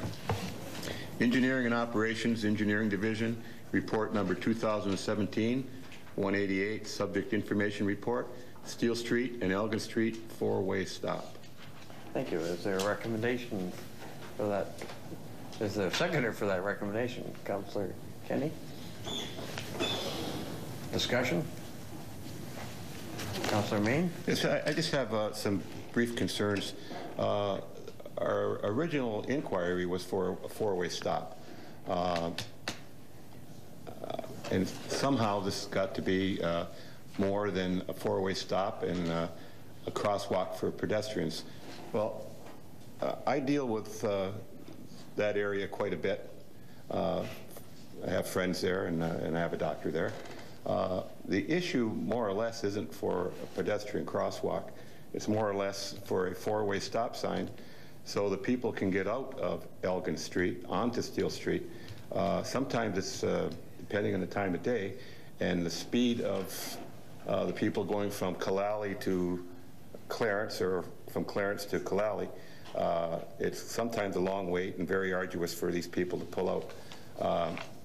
That whole subdivision is one way in and one way out, which also complicates it a bit.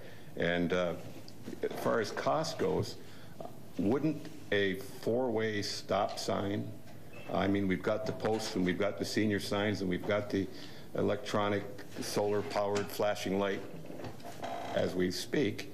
Uh, I, I kind of think that's probably what those seniors want. And uh, I'd be happy to, to hear uh, anybody else's concerns over that. Perhaps a comment from uh, Mr. Lee? It's you, Mr. Mayor, to uh, Councilor Mayne. Uh, the reasoning for the four-way stop not being entertained is um, as a s there's a slight detailing of it in the report, but essentially the study that was done and all the traffic counts that were taken um, was the information that staff used to then determine that a four-way stop was not warranted based on all of the traffic volumes um, during the entire periods of the day that were done. The study was done. Um, in the report, it stipulates the, the year that it was. I can't recall right now. But uh, it was done by Associated Engineering, and they did a detailed study of the entire intersection with their traffic volumes, pedestrian flows, and their recommendation at the time was that a four-way stop is not warranted, and that's simply what staff has hung our hat on. Mr. Mayor? Thank you, Mr. Mayor, to Mr. Lee. Uh, I think the report was done in 2007, was it not? And that's uh, 10 years ago, and there's one heck of a lot more houses there now, a lot more people there. Uh, so I kind of think that's probably out of date. Uh, now, I, I, get a lot of good comments over this four-way stop that the city put in on Sugarloaf and Elm. It works rather well. Uh, people there seem to be quite happy, and uh, a lot of them say it was long overdue, including the people that use the road. Uh, so my point would be it's fairly simple to do. Uh, these people would like to have it, and uh, uh, I'm all for a four-way stop, if that's possible. Any other comments? Councilor Kenny? Thank you, Mr. Mayor. I know now why uh, Jim didn't show up tonight, because that was my Christmas present he was supposed to bring me. So I can see he hid, hid behind. Anyways, um, I want to tell you that I'm in full support of a four-way stop there. It needs to be done. You know, you, you quote um, in your report uh,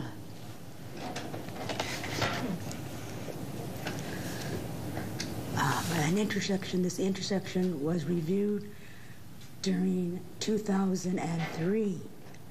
2003. That's like 14 years ago. And I certainly uh, agree with um, Councillor Mayne the demographics have changed there, and I would hope, I would hope, that this has come up several times, council, and I would hope that they would uh, support a four-way stop.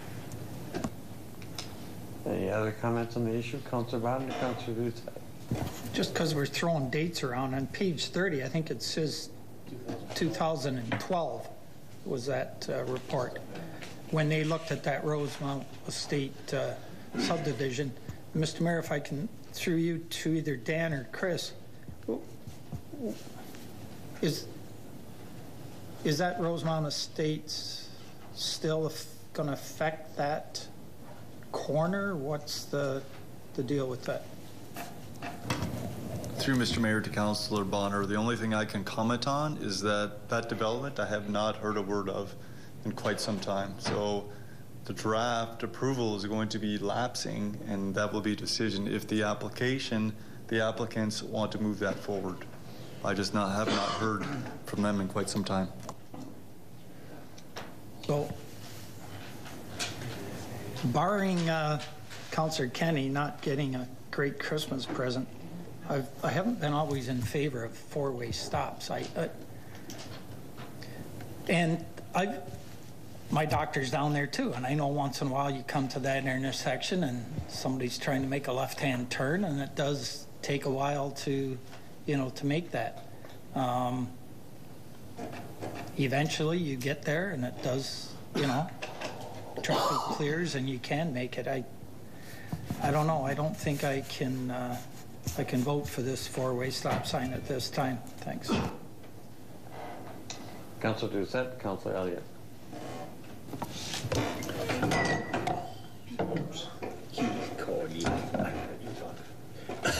Thank you. Um, Bottom line is, I remember when the study was done, and there were discussions about when the study had been done, and it was done in the middle of the summer when there was less traffic, because the school was out, and so on and so forth. Therefore, I don't know if the validity of this study really paid off and really gave us an accurate number. And, and I would, I would request that um, staff go back to the study to check it out, because if for any reason, for any reason, it was done in the middle of the summer, the numbers are not valid for most of the year. They're only valid during the summer, which is two months. And, and I, I would tend to believe that those numbers would be very different if we studied it in uh, September, October, uh, and so on. Uh, so that's something that I think we need to go back and check before we take a good look at uh, what we're going to do with that corner. Because I, I believe that something has to be done. I bring my grandson in there um, almost every day to, to, to, to high school, and I'll sit on that corner, and I can sit there for 10 minutes before I can move out of there. Uh, so, you know, and that's coming out of the high school area, and a lot of the seniors coming out just sit and sit, and much longer than we do, because they're not sure and they're driving and they're being much more cautious than we usually are. And I've seen I've seen one sit there for almost 20 minutes before he he would turn. Um, so I think we need to go back and take a good look at when the study was done. And if we need another study, then maybe we should have one that is done at the appropriate time. That probably would be more valid than the one we have now. If it was done at the appropriate time, then the numbers are the numbers. And then we do we, we decide from there. Thank you, Mr. Doucet. Mr. Elliott. Then Mr. Desmarais. Thank you, Mayor. Um, I can't support a four-way stop for a couple of reasons. Um, at some point in time, we have to adopt standards that we're going to stand by.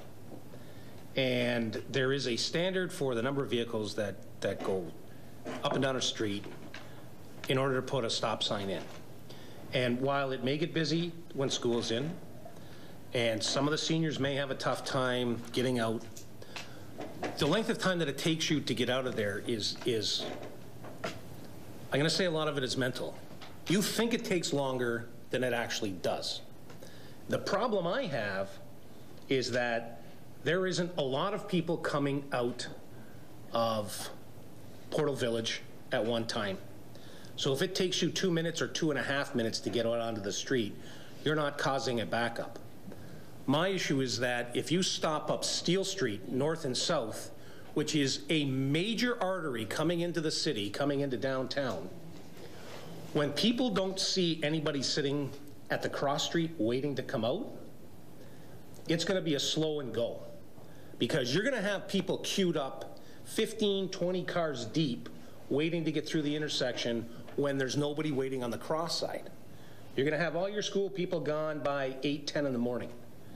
But the traffic on Steele Street continues throughout the day, which you are forcing to stop for no reason other than a couple of cars coming, which there is ample time. I live around the corner. I go past there every single day. And I've never seen anybody queued up on Elgin Street waiting to come out. Never. So to say that they sit there five minutes, 10 minutes, it may seem like a long time, but truthfully, it's not. So you're going to stop up a major artery coming into the city for what reason? Right? Now what you do is make the intersection more dangerous because now those people going north and south on Steele don't come to a complete stop. Now you bring, pedestrian crossing into the equation because now it's more dangerous for people to cross the street on foot because not everybody's coming to a complete stop. That's identified in this report and in item one when we talked about the crossing on Clarence Street. If you put stop signs in, it doesn't mean that pedestrians are protected. It doesn't mean that people driving cars are protected. There has to be a warrant for the stop sign. This is not warranted. It makes it more dangerous. And you're going to stop up a street where trucks come in, buses come down, a lot of traffic come in. Um, it, it, it's, it's not the place to put a stop sign in mid-corridor like that. I, I, I can't support that. If, if we want to look at a pedestrian crossing that makes it safer for pedestrians to get across the road, I could support that. But I, I, I can't, I cannot support putting a stop sign in, in that location. Councilor Desmarais. Thank you, Mr. Mayor. Through you, um, I have a, a couple of points of view on this. Um, first of all, coming from the active transportation perspective again and, and being the council representative there, uh, this is something that has been discussed by that committee. They fully support a pedestrian crosswalk going in there. Um, it is, you know, they, they're looking at pedestrian safety and active transportation, so of course that would make sense. That's what they're doing. Now, being a driver and having made that left-hand turn from Steele onto Elgin and then again from Elgin onto Steele, those left-hand turns are sometimes a bit of a pain and there is definitely a wait time. Um, the right-hand turns, they're not issues. It's the left-hand turns. Um, and I, I don't find that a particular problem, but I know some people do. So for that, I, I get it. I understand why there might be a call for a four-way stop. I don't know that that's, that's going to be the answer, though. I think no matter what, we need to go through, we need to go forward with the pedestrian cross, crosswalk. That's what we need to do. Um, the argument about provincial warrants, I don't know if that even holds up anymore because we did do the Sugarloaf uh, uh, cross, uh, stop sign rather, and that certainly wasn't a warranted cross, stop sign. So um, I don't know that we can do that, but I would definitely not want to see this put on a shelf while we wait for yet another study. We need a pedestrian crosswalk at the very least in, in on that uh, intersection. So that that's what I'm asking for, is to get that out there. Thank you. Just for clarification, Mr. Lee, uh, do we have that pedestrian crosswalk now? Uh, there's a flashing light there. What, what is that, sir? To you, Mr. Mayor, there's currently a crosswalk indicated, but it doesn't have the new signage nor the new flashing lights of that nature. It's just simply delineating, uh, much like a regular crosswalk would be with uh, what's commonly known in the industry as the piano keys, and a warning that there's crossing ahead with pedestrians. Any further discussion on this item? We, uh, Mr. Bodner. Thank you. I, I want to pick up on something that Councillor Mayne said. I, I don't think the original ask was for a, a pedestrian crosswalk. Was it not? Is there, yeah. Yeah, and so I know staff has come up with this crosswalk, but is it, is it needed? I, I'm there a lot. It's like, so people are crossing to go over to the high school side? Um, If they're going, s- sorry, but if they're going someplace like downtown, would they not be better to walk to the stoplight at Clarence and then go down there? I don't know. You know, what are we, what are we doing? Putting a crosswalk in to save, they're gonna walk a block one way or the other, so I don't know. I, I don't think I'd be for that either. That's, uh, that might be money not well spent. Thanks.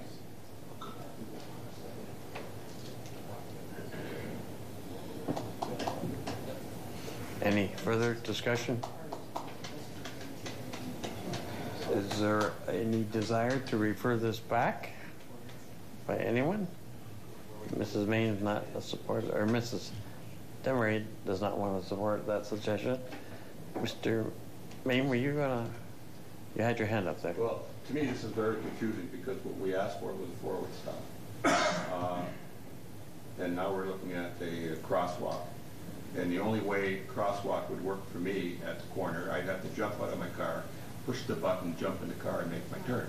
Uh, It's, uh, it's a can of worms. It's, uh, I can see everybody's point, but, uh, and, you know, slowing traffic down, like I said before, depending on what sign you look at in Port Colborne, I don't really think it's that much of an issue to have to slow traffic down. We have two schools, that, two school zones there, and they're already uh, 40 kilometers an hour. So uh, I don't think that that's much of a problem. I can't support this as a crosswalk, but uh, I would make a recommendation that we go to a four-way stop and vote on it. Whether we have to defer to the next council meeting, uh, I don't know, what are your issues? What can we do? I think, can I just get in there for one second? Certainly, Committee. So through your worship to Councilor Mayne and a few others, the point was made, if we wanted a four-way stop, why did staff come back with a report on the crosswalk? I think that's specifically in reference to the 2007 and 2010 motions that are referenced on page 29 and 30. Um, I have to defend staff on this. If you want a particular recommendation, don't ask staff for an opinion, because if the opinion doesn't match the recommendation, we run into a conflict between staff and council, right? I remember another municipality that, uh, where the council member threw the report and said, this wasn't the recommendation we asked for. So it becomes problematic. That wasn't in Port Colborne. It becomes problematic when we want to presuppose the outcome. Now, it does appear that the staff member made a mental leap from solving the problem of traffic entering and exiting Elgin um, and a four-way stop to help with that to pedestrians. So that does seem like that was a mental leap, and I understand council's position.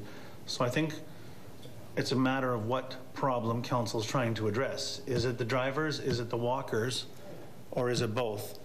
And then getting the right solution for council, and that would be up to you what the solution is. Well, we have the recommendation moved and seconded. Uh, Mr. Bodner, you have one final comment? Well, I would just say, if, if no one's comfortable with this, I would hope that we would just turn this down. And if somebody wants to make some other recommendation, then, you know, that's fine, but let's not spend money fixing a problem that may not be a problem. And just to Mr. Luey' um, comment about maybe staff being gun shy, I hope staff would tell us right out, you guys are nuts and you don't need this. That's, that's what I want to hear from staff. They're the experts. Um, Then if, if council so decides, then, you know, they can override it. But I would never want staff to feel that they had to bring a report back that might um, anger a few councilors. Tough, you know? I would encourage staff to bring that back. Right is right. So, just a thought. Mr. Lee. Through you, Mr. Mayor, to Councillor Bodner. Um, Actually, if you go through each step of the report, uh, staff has actually addressed, and at this point in time, if we were to go back and reassess the four-way stop, we would not change our opinion because it's based on the best information we have today. As we've stated in the report, we do not recommend a four-way stop. That being said, that's our recommendation. What council chooses to do or not do is strictly up to them. Thank you. I said We have a recommendation moved and seconded. It's time to have a vote.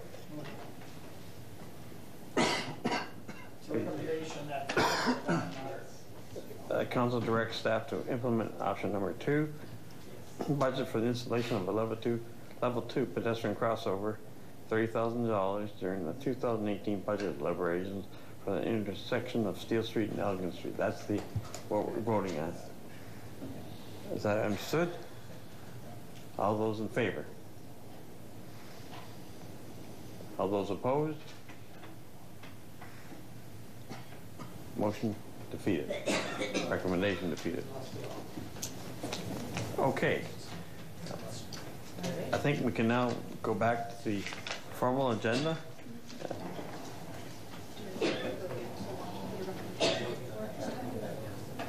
An additional recommendation? Does council want to uh, continue with its consideration of this matter? Because there's no direction to stop now. Uh, The clerk points out that there has been no direction to staff. Uh, Is there any further recommendation that council would want to make to staff on this issue?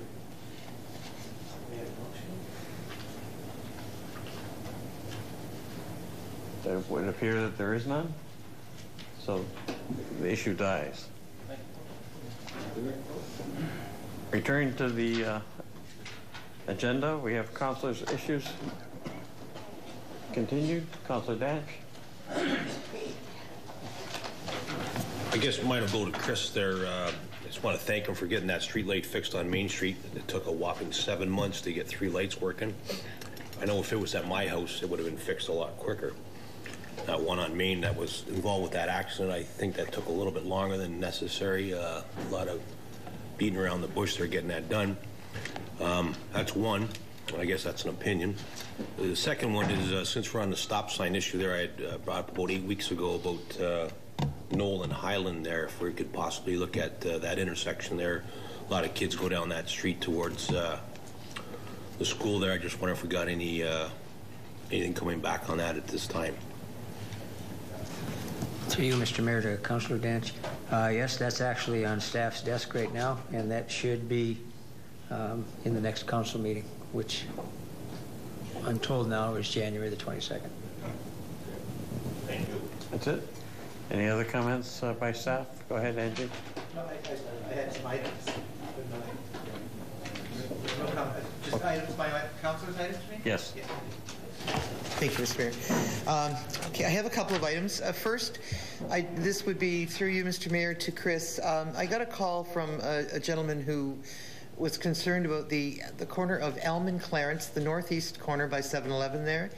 He says that there's a, a, a pole that had been used for something that had been sheared off, but it's been sheared off too high from the ground. It's actually got a few, uh, a few inches of, uh, above the ground, and he says it's a major trip hazard. So if somebody could get out there and look at it, and maybe take it down to ground level, that would be a, a good thing. It's, it's northeast corner.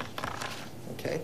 Um, now, the other one, the other item I had um, has to do with an email I sent you today, Chris. This is about the East Village construction and uh, questions that I just wanted to make sure that we had, that all of us have the same answer on because other councilors are also getting calls. I mean, my phone's been lighting up, my email has been lighting up. It's uh, people are getting really, really antsy now that the uh, snow is falling and the ground is freezing, and uh, they want to know what's going on. So I'm asking you to please outline how and when the sidewalks, road surfaces, and open trenches will be dealt with, how snow and ice removal will happen, um, and how the uh, walking surfaces will be made safe and level. Through you, Mr. Mayor, to Councilor Desmarais and actually the rest of council. Uh, I'll give you a brief update on the project as it stands today. The uh, entire storm sewer system underground has been completed except for the Rodney outlet.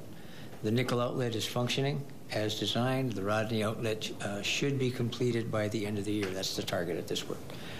Uh, That being said, um, there's been a flurry of activity within the last um, week and a half to two weeks. The concrete reinstatement crews, um, actually this week, there are two reinstatement crews on site. There are two paving crews on site as we speak this week. Um, They were in on Friday, and then they were in again uh, today. Uh, They are restoring the trenches so that the roads will be um, much smoother and easier to plow.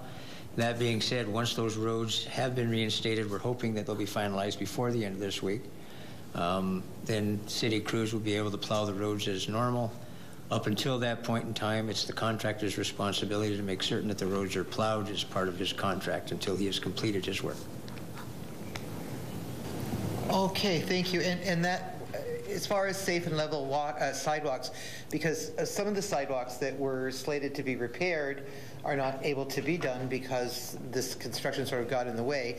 And I'm thinking particularly, there's a southern part of um, Mitchell Street just north of Nickel. There's, uh, on the east side of that, there, there's one sidewalk there that is really terrible. I sent you several pictures. Um, and Steve, uh, yeah, quite a few through there how are we going to deal with that through the winter? Because then it becomes really, really difficult to, you, you couldn't use that sidewalk at all because it's shifted and, and it's gone off to a side as well. So it's, it's a real mess. Through you, uh, Mr. Mayor, to Councillor Desmarais. Uh, yes, that's, uh, staff has looked at that. Uh, like I said before, the uh, contractor is repairing all of the works that were damaged as part of the construction. And any other um, concrete works that haven't been damaged but are in need of repair, there'll be um, the temporary repairs, either grinding or a removal with, uh, and then replacement with a cold mix for the winter. But we have to remove those strips. Hopefully the weather will stick with us and we can get it done quickly. Okay, I thank you. I hope so. That, that one in, in particular has a tree that has to come down t- in order to do it as well. So that's a challenge for that one. But thank you very much for that answer. And I just, I just wanted to finish by wishing everyone a very Merry Christmas and uh, hoping to see everybody out at the Vale Center on uh, New Year's Eve to celebrate the next wonderful year coming through. Thank you. Any further councillor items? Mr. Mayne. Mr. Elliott first. Didn't see Mr. Elliott. Thank you, Mayor. Uh, Through you to Chris, because everybody's picking on you tonight. Um, Just real quick, the, uh, the new intersection at uh, Clarence and Cement Road, is it on our radar next year at all to kind of realign it? And I know that before Clarence came out, uh, the road had that bend in it, and now it, it doesn't really line up, and it's kind of, still the curve is there, and when you come to a stop, you can't really see around the corners. Are we going to do anything with that, uh, with that intersection before the bill that's underway now gets finalized and they open up the new section? Because it seems like there's going to be more traffic going in there. Through you, Mr. Mayor, to Councillor Elliott. Um, as you recall, um, that four-way or that three-way stop was initiated just as a safety feature in the onset, so that we could then have a chance to study the traffic flows. Uh, that's still going to be done once the subdivision develops, and then we will come back with a report later recommending a through street or continue with the three-way stop or whatever it may be. Um, the thought process was that if there was any alterations, it would be done at that time as opposed to doing something prematurely. Okay, so we're, just, just a quick follow-up. So we're going to wait until kind of like the first phase is, I'll say, more complete than it is now, and wait till phase two gets underway? Because I know, I, I, I believe that they're going to start into phase two, so you want to wait till we get a little bit more traffic in there just to see how it plays out? Through you, Mr. Mayor, to Councilor Elliott. That's correct. Okay. Uh, Mr. Mayne, you had another point. Thank you, Mr. Mayor. Through to, uh, to Mr. Lee. Uh, how are we making out with uh, 109 Steele, 80 Elgin, uh, 79 Michael Drive, and a few others? Are, are we still uh, waiting for a contractor to repair any of this uh, concerns? Through you, Mr. Mayor, to Councilor Mayne. Uh, the concrete repair, repair contractor is actually in town this week, and those are on the top of his list. Okay. And 109 Steele, he still has the big hole in his lawn? Those reinstatements are all part of his. Okay. Uh, he's okay. even bringing in a separate asphalt crew to keep things going along with a, a third party. So we've asked him to expedite those as quickly as possible. Thank you so much. Councilor Butters. Oh, sorry, Mr. Mayne. Okay, these will be, these will be quick. Uh, Through Mr. Mayor to Mr. Luey. Uh, I just thought of this uh, today. Does Port Colborne have a designated grant writer in our staff who uh, looks after writing grants and making sure they were on board? Sure. Through your worship to Councillor Mayne, we do not have a dedicated grant writer on board as of yet. Excuse me. Um, up until now, each department has been responsible for writing their own grants or, uh, you know, some admin staff have picked up the responsibility of getting numerous departments to complete an application. We did recently, for the first time to my knowledge, use the services of a professional grant writer for a fee. That went pretty well, but we, the grant's not announced yet, so we don't know if we were successful or not.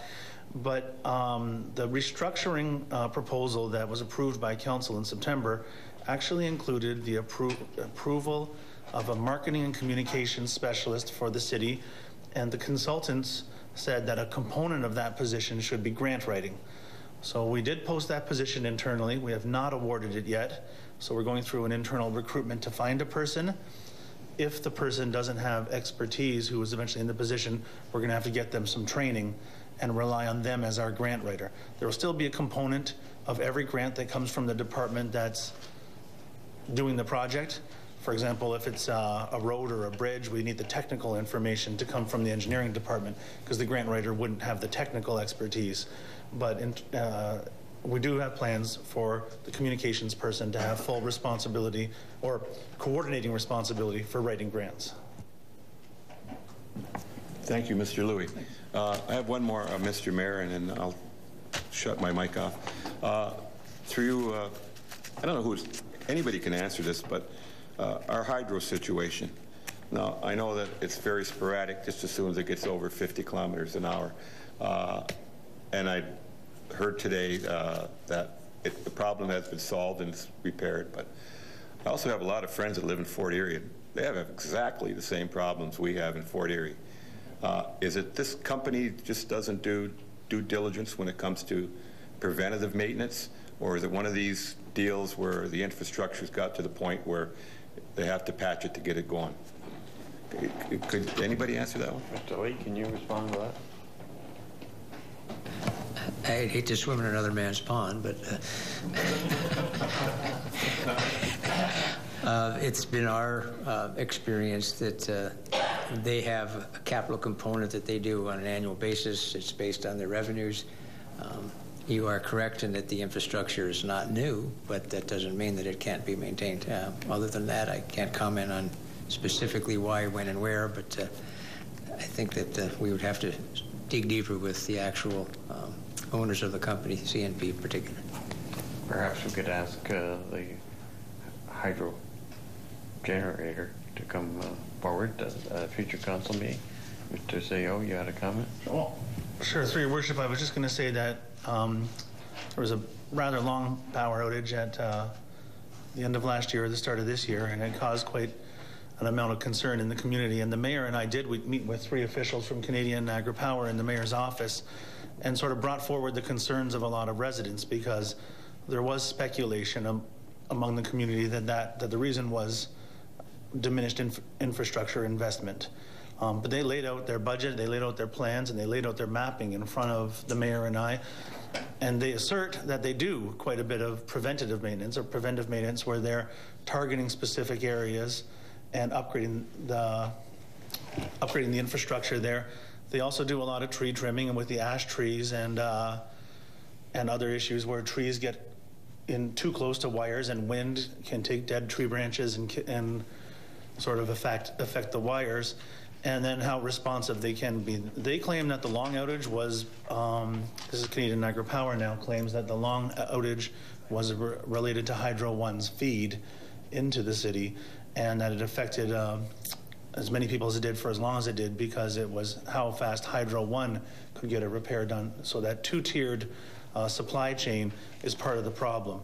But I think maybe one of the one things, to, to the mayor's point, we can maybe make overtures to Fortis's staff and see if they can send somebody out here with a better ep- explanation at a future council meeting. Thanks. On this issue, Madam Emery, go ahead. Thank you, Mr. Mayor. Um, Through you, I guess to our CAO, I, I know that there is a planned power outage for the morning of December six- 16th. Is, is that um, in any way in, uh, involved with them doing work on the lines, or is that for some other reason? Sure. For your worship, to Councillor Desmarais, it is actually a separate issue altogether. There is a piece of machinery that's been fabricated in Port Colborne that's being shipped out of Port Colborne on the canal. So it's leaving Invertose Drive. And, and I think the size of the equipment means that certain hydro lines have to come off or, or be depowered, de-energized in order to transport the machine or piece of equipment to the canal, get it on board a vessel, and it's going to be shipped out of Port Colborne. So it is approximately four hours in maximum length, estimated length, but they're hoping that they can mitigate that time a little bit by having a rolling uh, outage. So as they proceed through an area, they can re-energize the area that they've passed through. So that's on Saturday. Saturday morning, 8 a.m. 8 a.m. on Saturday, December 16th. Thank you. Councillor Butters. Thank you, Mr. Mayor. I was wondering if you had had a chance to check with the region um, regarding those watershed jobs that have moved from the NPCA to the region and under what kind of um, lens they will look through when they're doing that job, whether it'll be like um, a conservation lens or a more of a pro-development lens. And I wondered if you'd had a chance to get anything, uh, any information on that for me. No, I don't have any information on whether uh, it's a pro-development or pro-conservation uh, lens that that we're looking through. That will be a decision that will come from the region itself, uh, Mr. Tripp, most likely, or perhaps the uh, CAO. Uh, We don't have that information yet. Again, uh, the, the point on some of the individuals have been rehired. Others are going to be hired by the region. There may be uh, one or two that may be permanently displaced, but until the new assessment of what they're going to be doing is completed, um, there won't, uh, I can't give you a response to it. Okay, I'll just keep on checking in. Fine. Again, as I said, I think there was one problem that uh, we were dealing with two different unions, and that they're having a problem amongst themselves as to what, uh, who's going to be hired where. But uh, that, that's just one of several complicating factors. Uh, Any other points, uh, Mr. Bodner? Thank you, Mr. Mayor. I wonder, uh, I had asked for item 19 to be pulled, and I didn't realize that we hadn't uh, spoke on that, and we just moved along. And I know it's just to be received for information, but I wonder, if council's indulgent, we might be able to revisit that. Um, Yeah. It was number 19. Oh, we haven't dealt with it yet. Sorry. Oh, that's right, because we dealt with one and then we went back. We Okay. can record. All right. Just don't miss it then, Mr. Mayor, when you come to it, okay? Thank you.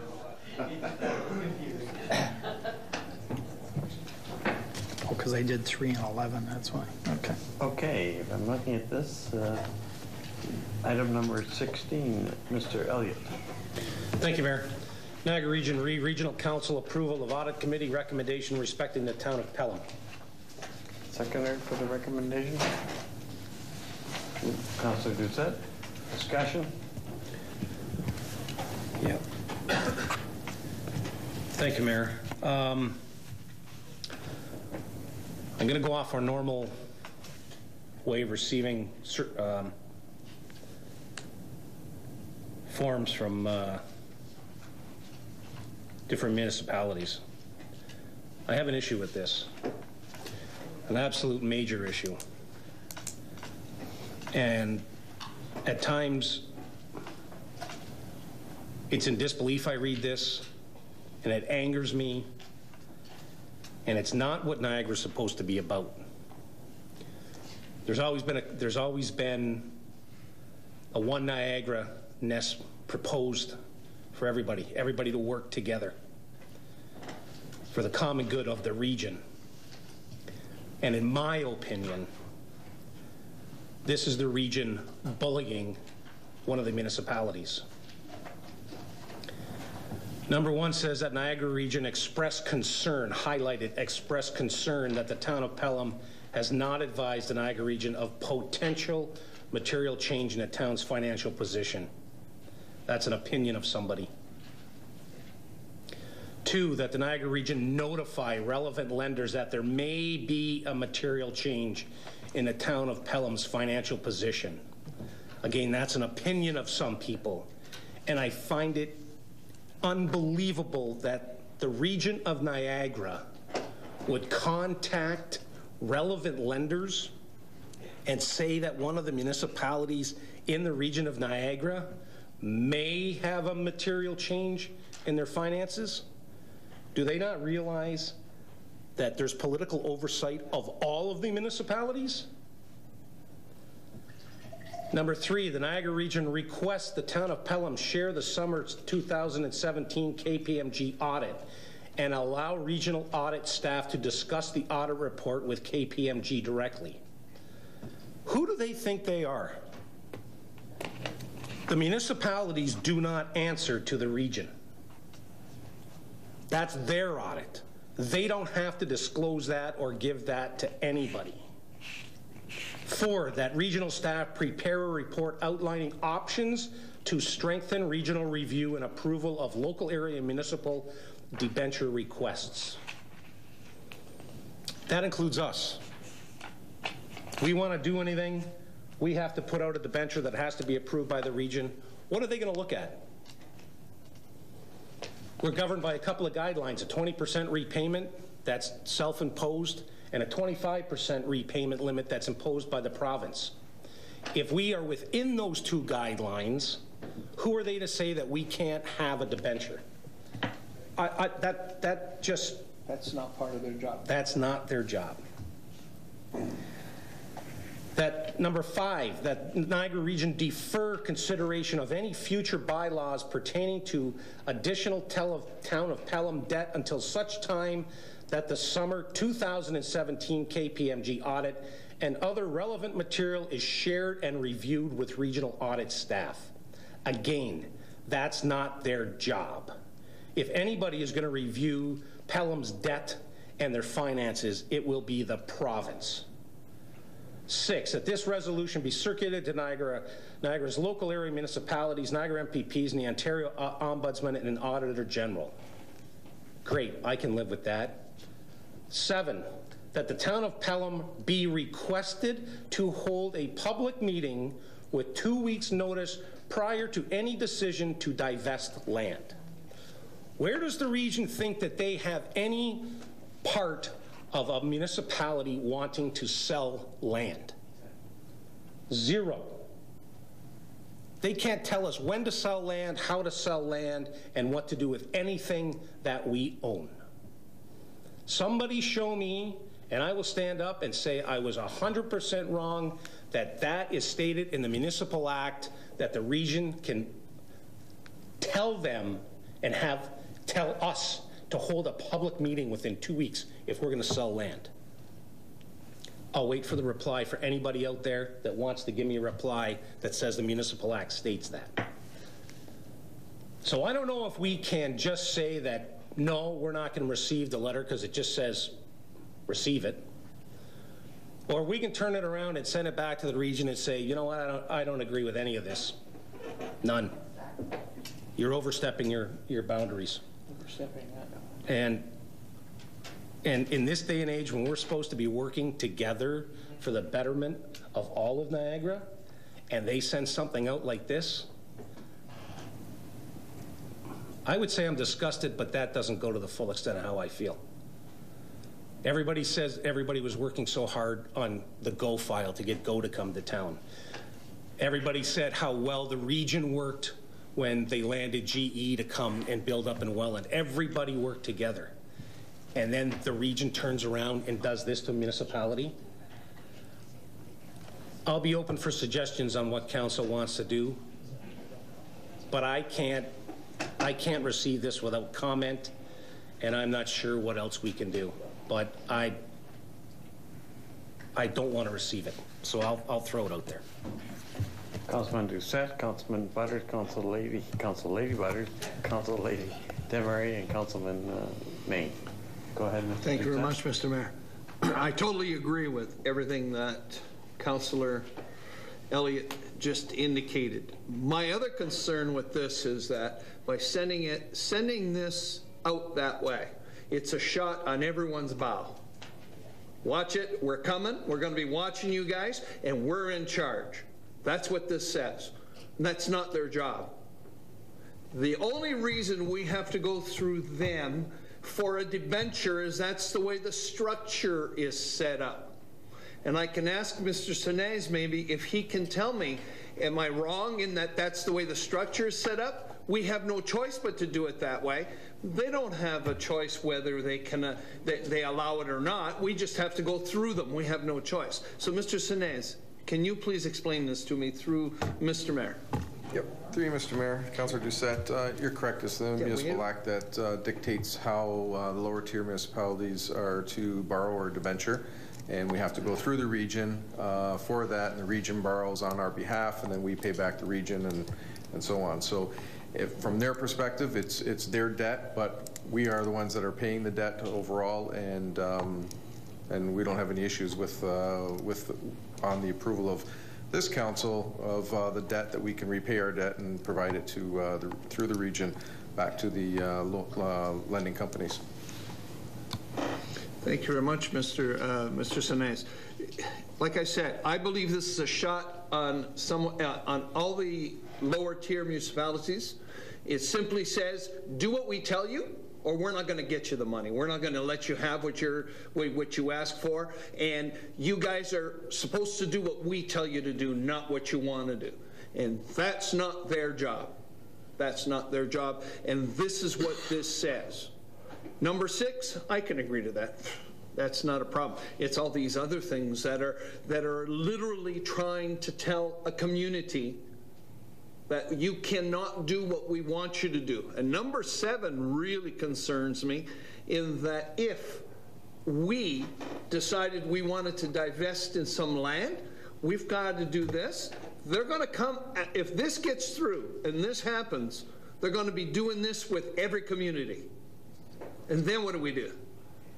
May as well say that we are now one, one regional town because that's what that that's what this is aiming for and I disagree with it and I think it needs to be thrown back in their face and just simply not accepting it is not enough. I think we need to send it back to them telling them this is not allowed this is not your job and I think we need to use those words to tell them that we think they're wrong. We need to tell them. Thank you, Mr. Doucet. Councilor Butters? Thank you, Mr. Mayor. Well, first of all, I do agree with my fellow councilors, Elliott and Doucet. Um, I would add that I'm not sure if this is a, a culmination or an ongoing of a witch hunt on the town of Pelham and their mayor and council. Um, I think that for what I've just observed over the last few months, it would seem that um, it's a very targeted uh, bullying tactic that I, for one, am bloody sick and tired of. And I agree totally that a letter needs to go out um, stating our fierce objection uh, to this to this uh, recommendation from the audit committee and and um, what what the Niagara region is proposing here for Pelham. I think it's just. Uh, I, I have to kind of wonder, you know, bad things can continue to happen when really good people sit back and do nothing. And I'm not prepared to do nothing. And I don't think the people around this horseshoe are prepared to do nothing. This is wrong. And we need to stand up and uh, be counted in that way and let them know that they are way out of line and they better get themselves pulled into line um, if they're smart, which I'm not even too sure of that anymore with some of them up there. Because um, there's an election coming in 2018. And I think more and more people are paying attention to, to the, I'll call them antics. I mean, this is just, just, just a, another one in a long list of things that I shake my head and, and think to myself, like, what, what are you doing? What are you doing? It's just, it's just to me bizarre. Thank you for your Thank you, time. Mr. Butters. Pat Devery? Thank you, Mr. Mayor. Uh, Through you.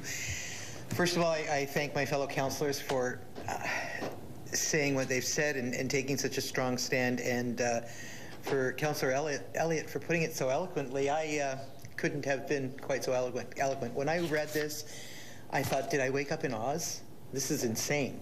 And and literally, that's how it felt. I, I could not believe it. I have no interest in being part of the greater municipality of Niagara either.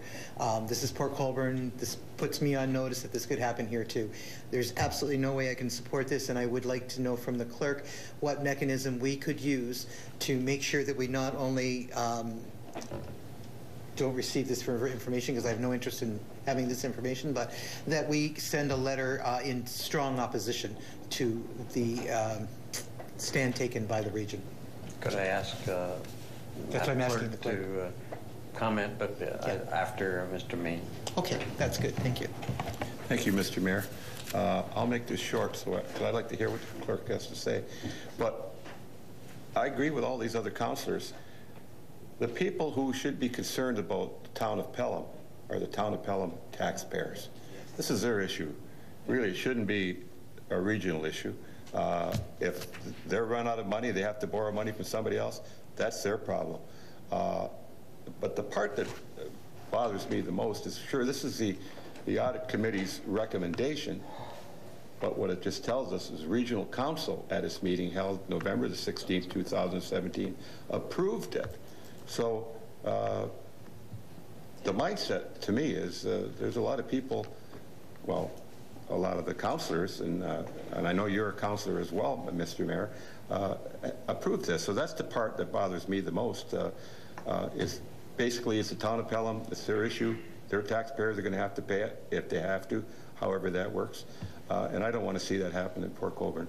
And it could ha easily happen here with an audit committee from the region saying that Port Colborne's out of hand and all the regional councilors voted for it. Uh, so I support the rest of our council. Thank you, Mr. Mayor. Madam Clerk, do you have a a comment on how you have the feeling of council, uh, how you would like this uh, suggested this uh, resolution be worded? Thank you, Mr. Mayor. Um, Council has the option to pass a motion that says that it's in uh, strong opposition to the resolution passed by the region. And um, as part of that motion, you could also um, instruct the- my, the clerk's office to uh, return the correspondence to the region of Niagara if that's what you so wish.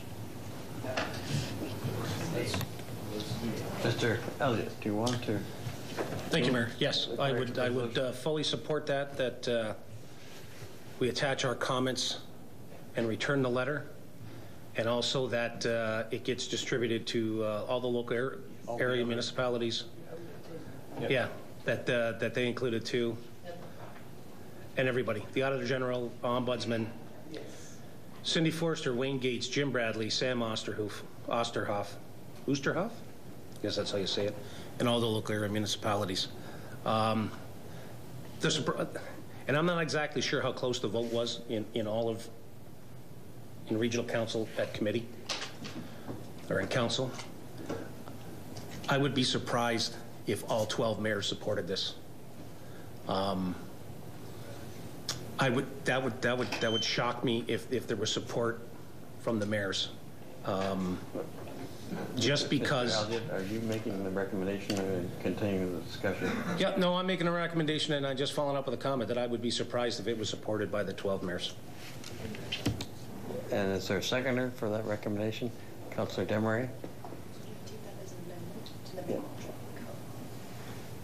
Are we ready to vote on what we would call amendment to the main motion? All those in favor? Opposed? It's carried. Okay, item number 17, Madam Desmarais. Thank you, Mr. Mayor. Mayor Mike Bradley, City of Sarnia, read letter to Catherine McKenna, Minister of Environment and Climate Change, re Ontario Power Generation's proposed deep geologic repository. Seconder for the recommendation? Councilor Doucet? Discussion? Madam Desmarais? Thank you, Mr. Mayor. Um, I read through, I, I read through the letter coming from uh, Mayor Mike Bradley, and the, uh, he referenced the number of, let me just get this back up here to properly, properly speak to it. Um, As he says here, signatories to this letter, all duly elected officials of the Great Lakes communities that have passed resolutions remain deeply opposed and united in opposition to the permanent burial of nuclear waste anywhere in the Great Lakes Basin. And we fully support Stop the Great Lakes Nuclear Dump in their work to protect the fresh water of the Great Lakes from the threat posed by OPG's proposed DGR. So and that's, uh, that basically, to me, says it all. Uh, If you go back and read the letter, and um, it's laid out in, in far more detail, but that one paragraph really says it all. And considering we are a city on the Great Lakes, um, we definitely need to protect, protect our watershed and, and protect our waters. So um, I am asking that we not just receive this information, but that we fully support this. Thank you. Any other comments? Being done? Call for the vote. Call for the vote. Oh. It's an amendment? Okay. Councilor Doucet, were you seconding? the Yes. friendly amendment? And you Yes. wanted to speak? And, and just a comment, that if we change, if we make, create an an amendment like we just did, okay, do we defeat this and then put it in, or do we just say, let's amend it and do it? Uh, Which one would be best? Um, Through you, sir, to Madam Clerk. Madam Clerk? Thank you, Mr. Mayor. If it's a friendly amendment, um, it can simply, you can simply accept it and then take the vote. Uh, If it's not, then you would vote on the amendment and then the main motion as a whole. That we're not going to receive the file, we're going to support it? Uh, The motion would simply be that it it be supported. That that was what the amendment would be. To you, Mr. Councilor Doucet? Uh, Just one more comment. Should we not let other people know that we're supporting it? So it should, does that need to be part of the recommendation, or does, so, uh, through you, sir, to Madam Clerk? Madam Clerk? Thank you, Mr. Mayor. Yes, as part of the follow-up of every um, council meeting, the clerk's office sends out correspondence uh, as routine uh, on these types of matters. Are we ready to vote on the friendly amendment? All those in favor? Opposed? It's carried. Thank you. Item number 18. Councilor Desmarais, that is also yours. Thank you again, Mr. Mayor. Town of Fort Erie, re healthcare services in the Niagara region. Is there a seconder for the recommendation? Councilor Butters, is that your hand up for seconding it? Discussion? Okay. Thank you, Mr. Mayor. Um, I, I have read through this as well, and I would really like to have this, uh, this whole resolution sent to our Port Colborne Medical Education Recruitment and Health Services Committee uh, for their comment. I think this is a place where I, I would really like to see what the people at that table have to say uh, with regards to this. Fine. Any other comments? Is that a motion for referral, Is that a motion for I'm s- yes, it Is there a is. seconder for that motion to refer? Councilor Butters? Any further discussion? Being none, call for the vote. All in favor? Opposed? It's carried. Item number 19. Mr. Bodner? Thank you, Mr. Mayor. Ralph Goodale, Minister of Public Safety and Emergency Preparedness, reads City of Port Colborne's resolution regarding medical marijuana grow operations. Seconder for the recommendation? Councilor Butters? Discussion? Mr. Bodner? Thank you, Mr. Mayor. Here's, here's another off-the-shelf letter that I don't even know answered what we asked.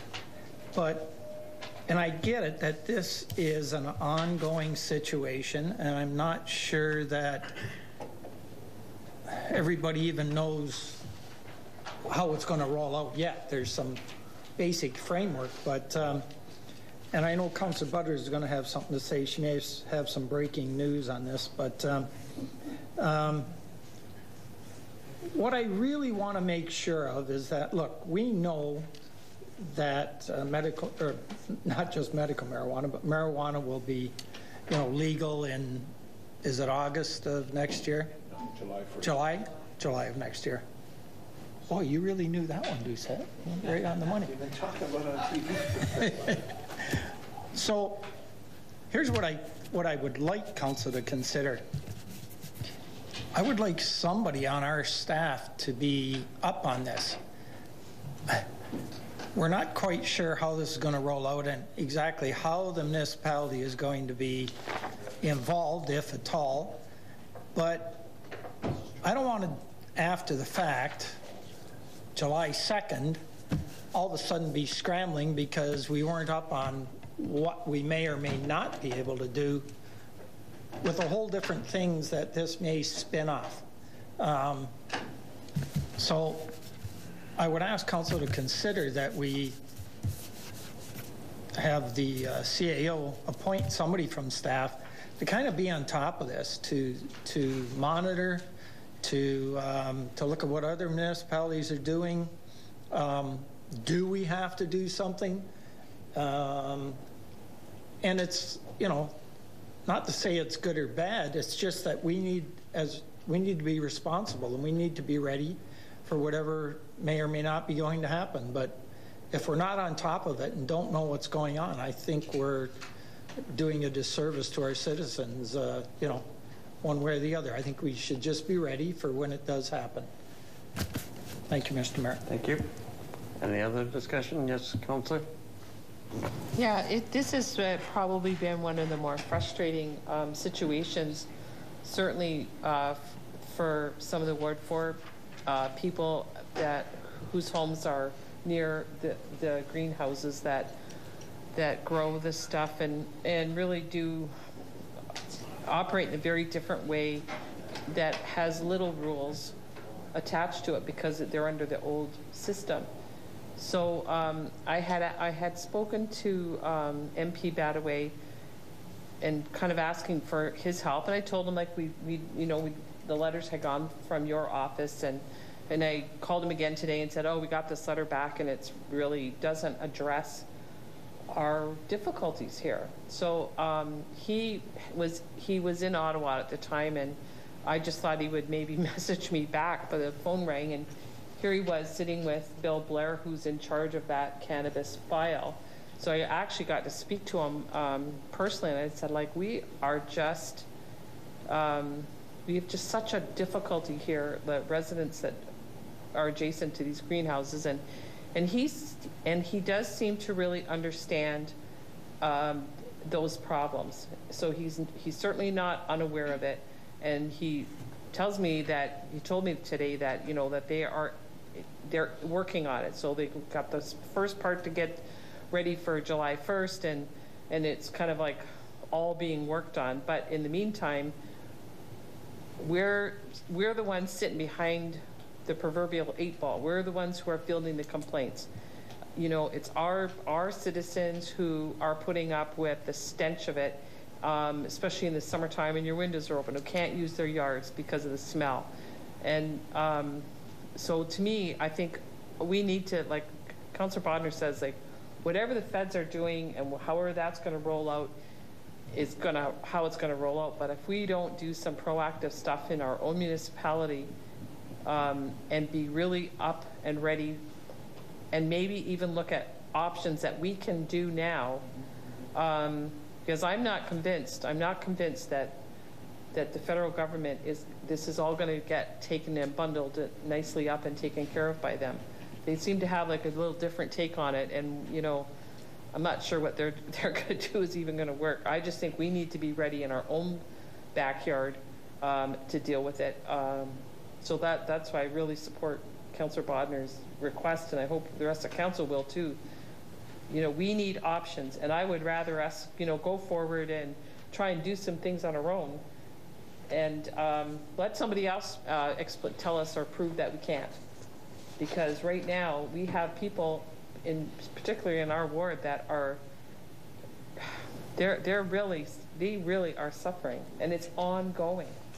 It doesn't stop. And it, and it's, and it's ridiculous that they should have to live like that the, how, however long now. I, I'm several years now, and no end in sight. So that's our, our request. Any further comment? Mr. Bodner? So I guess you'd need an official request, right? And, I- and I guess what, Council Butters, correct me if I'm wrong, but we're just looking for someone to be on top of this from a staff perspective, not us falling upon it by, you know, happenstance. We need to have somebody proactive on this to gather information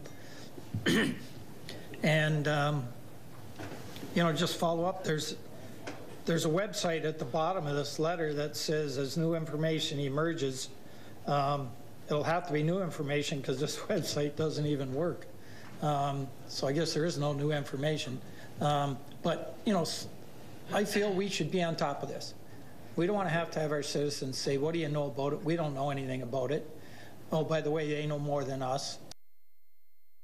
So anyways, I'm just asking that somebody from staff have this on their radar, make the appropriate contacts to be sent the information,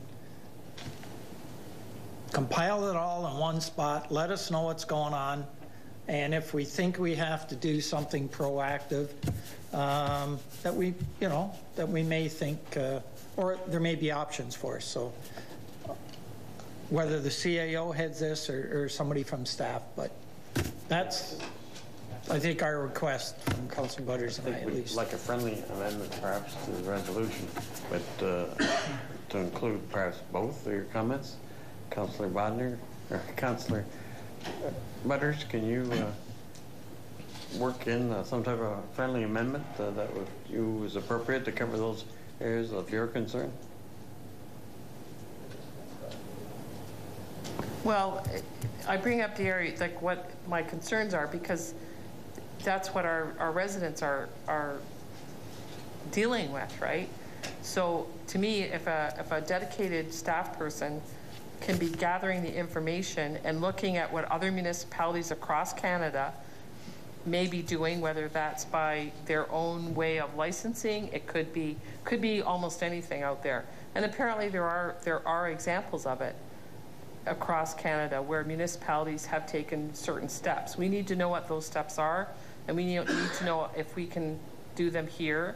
We need to be ready to do them if it, if it seems to be the right thing to do. But that's, that's, that's like about collecting the information and knowing what other places have done and what's been maybe successful or not, and what resources are needed to do that. That's the other thing. We have no idea. Well, we have uh, two comments. Uh, Perhaps uh, our clerk can draft them up. Précis and uh, to reach what both of you would like. Madam Clerk? Mr. Mayor, I, I really haven't um, gotten the exact wording, but essentially I understand the intent of the motion is that um, the CAO be directed to appoint a member of staff to um, monitor, research, gather information, um, uh, look for best practices and other um, resources uh, with regard to the legalization of marijuana. Is that a friendly amendment agreeable to both? I think so, yeah. Thank you. Thanks, Ashley. Are you ready for the vote? You understand what you're voting on? All those in favor? Opposed? It's carried. Mr. Mayor? Yes, Councilor Zet. I'd like to have it recorded that in some way that I've abstained from this, that vote. Okay. Alderman Doucet recorded, uh, abstained from the last vote. Which just accurate. If I may. Um, Yes, go ahead. Through you, Mr. Mayor, and just to clarify, um, is Councillor Doucet declaring um, an indirect pecuniary interest in this matter? Because that's really the only way for a member of council to abstain. Indirect. Okay. Direct pecuniary And- interest? Indirect. Uh, Thank you, Mr. Mayor. And the general nature of the um, conflict? Uh, Could you just uh, provide me with a general description of the nature of the conflict?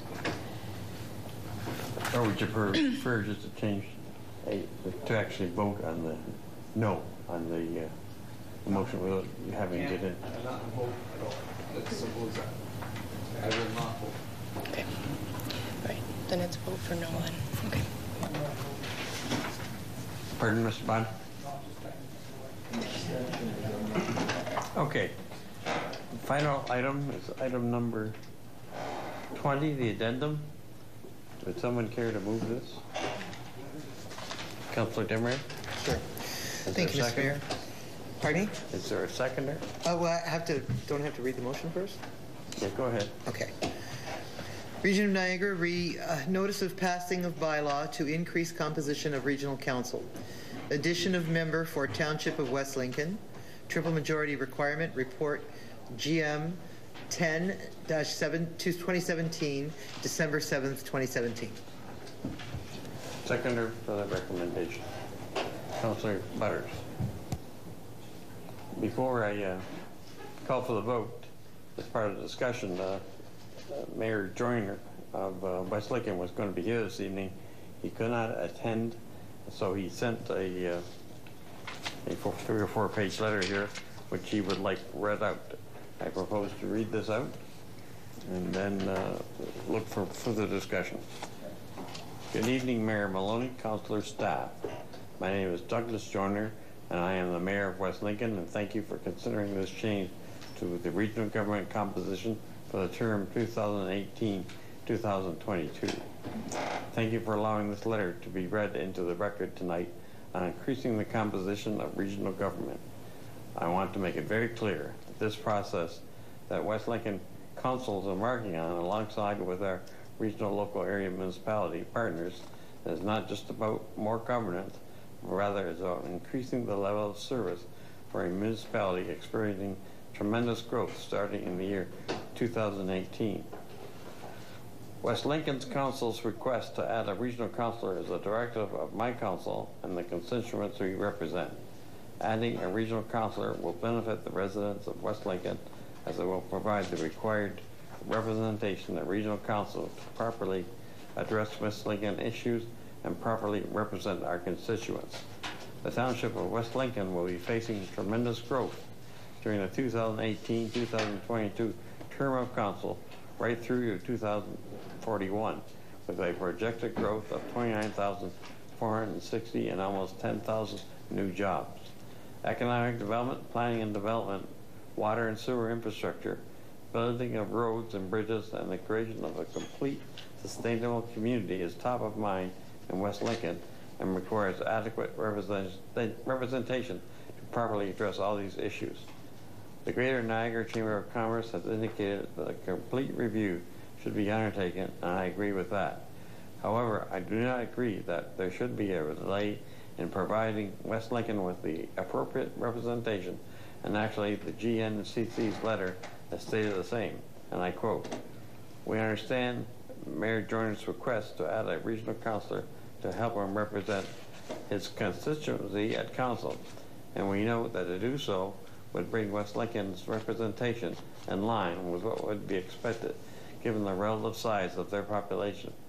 In short, adding another elected representative from West Lincoln absolutely 100% does equal better governance around the horseshoe simply because there will be another set of eyes and ears at all committees and council meetings to digest this volume of material.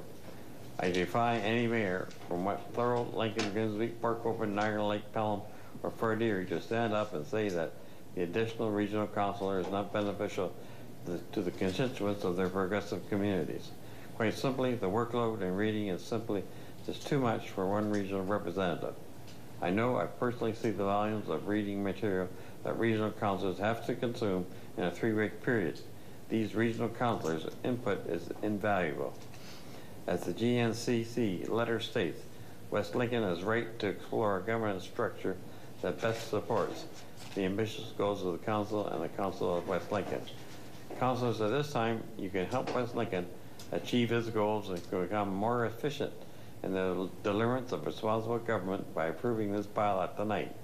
Port Colborne councilors and the GNCC, we give you our word that West Lincoln will show leadership by asking for a change in the composition of regional government in the term of 2018-2022. But right now, we need your help. And in West Lincoln, we see the addition of one regional representative a start in the right direction. Let's work together as a family. Thank you, Mayor Douglas Joyner. Uh, the problem is they need uh, the uh, passing of the triple majority uh, by the end of the year, and uh, this is the last council meeting that this council has, uh, and other councils are in the same position. So if you're in agreement with West Lincoln receiving another member, uh, then you may wish to consider voting for it. Uh, uh, again, uh, that there would be even exceeding our representation, uh, the, the economic situation in the community would, does exceed or will exceed City of Port Colborne, and we do have regional rep, two, a mayor and a, a councilor. So that's for your further consideration. Mr. Bodner. Thank you, Mr. Mayor. I, I talk in support of this. I, having been a regional councilor as my term of mayor, um, absolutely correct. The mayor could probably uh, speak to this too. There is a ton of paperwork and a, and a lot of stuff goes on at the region that, uh, you know, that as they grow, they'll be hard pressed for just the mayor to be able to, uh, you know, I think give it the, the proper due. So um, there's certainly a, a, a growing community and everything that's coming their way in the next couple of years. Uh, I think it's proactive of them to, uh, you know, to make this request, and I'd certainly support it. Is that it, Mr. Bodner? Any further comment? Yes, Mr. Elliott.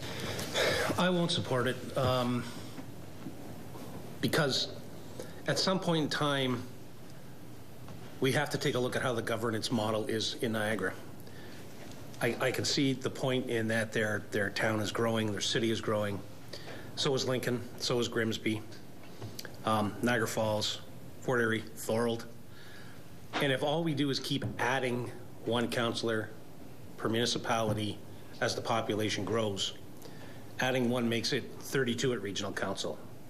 And then the next time a municipality grows a little bit, they get another one, and then it's 33, and then it's 34. And at what time do you stop just adding people because population grows? Or do you take a step back and say, we've got to get into a more rep by pop situation? You take a look at St. Catharines. Um, they've got one counselor per 18,000 people. One. They got 133,000 people. They have seven reps. So each person looks after 18,000. We're overrepresented. West Lincoln would be overrepresented. And at what point do you say, how do we take a look at the way that regional government is structured? Instead of just adding one at some point in time, because everybody admits that the region is growing. And just to keep adding one person because we got more people living here, um, where does it stop? By the time you get to 40 or 45, there's different regional governments that have twice, three times the population as us and have less than half of the regional government. So how is it that they manage and we need to keep adding people to the, to the numbers? Yeah, I, I think it's I think it's the way that it's structured. I think it's full time, full time counselors. And if that's what it takes, then maybe that's the road that we should go down. Maybe we look at full time people. If the workload is such that, that you need to have two people to do a job that one was doing, maybe you could get by with one full-time person instead of having two. Maybe that's the way that, that, that we should look at. So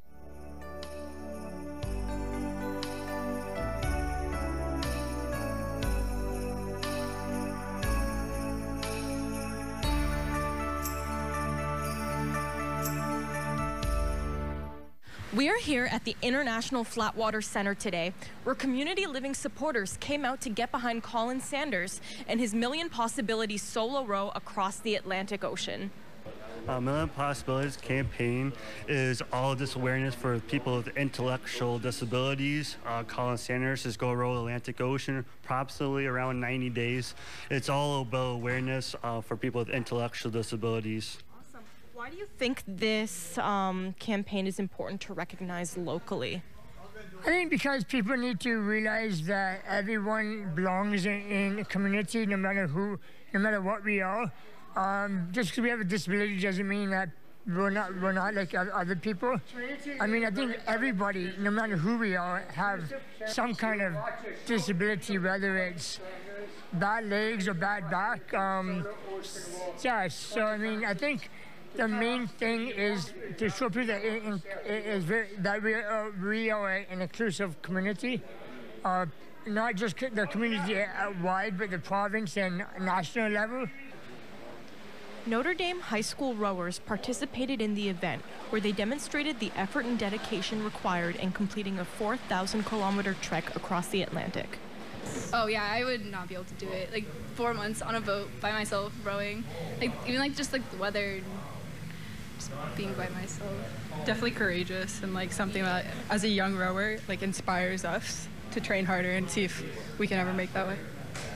I was actually shocked. I mean, I, I'm adventurous, but I'm not that adventurous. I'm thinking, well, with him going by himself, I, I asked it, like, I thought maybe he would have somebody going with him, like a boat behind him or whatever. And when he said he was doing it absolutely by himself, I was, I was very astonished. Hi, Colin Sanders here. Community Living Welland Pelham. I also heard that you met Colin personally. Can you tell me about what sort of person he is? Uh, yes, I met him in Toronto. It was uh, before the kickoff date. Uh, he's a really nice guy. Um, he's uh, just, uh, he's uh, really excited to do um, rowing the Atlantic Ocean. Sanders is a Port Hope native whose own son has an intellectual disability. He hopes a million possibilities can help contribute towards a more inclusive Ontario. Well, there's a, well, there's like always a there's always minor adjustments. Um, it just makes sure that they reach their full potential, and make sure that um, you know everybody has a, a, the exact same opportunities as everybody else.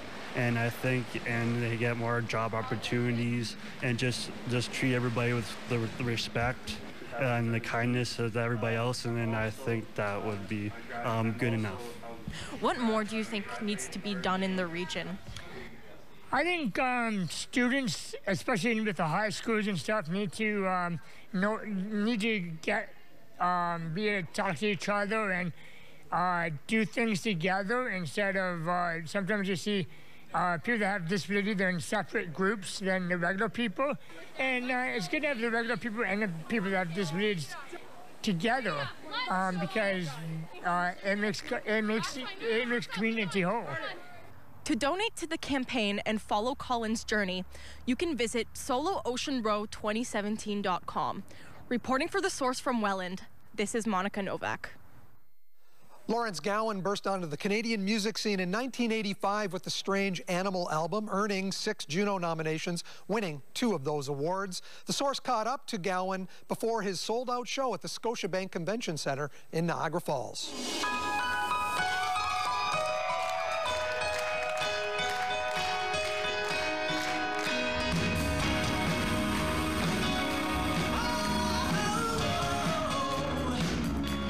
Lawrence, you don't do a lot of these shows as Gowan. You've been traveling with another rock band, which we'll talk about in a few moments. What's it like to pull out all those old hits?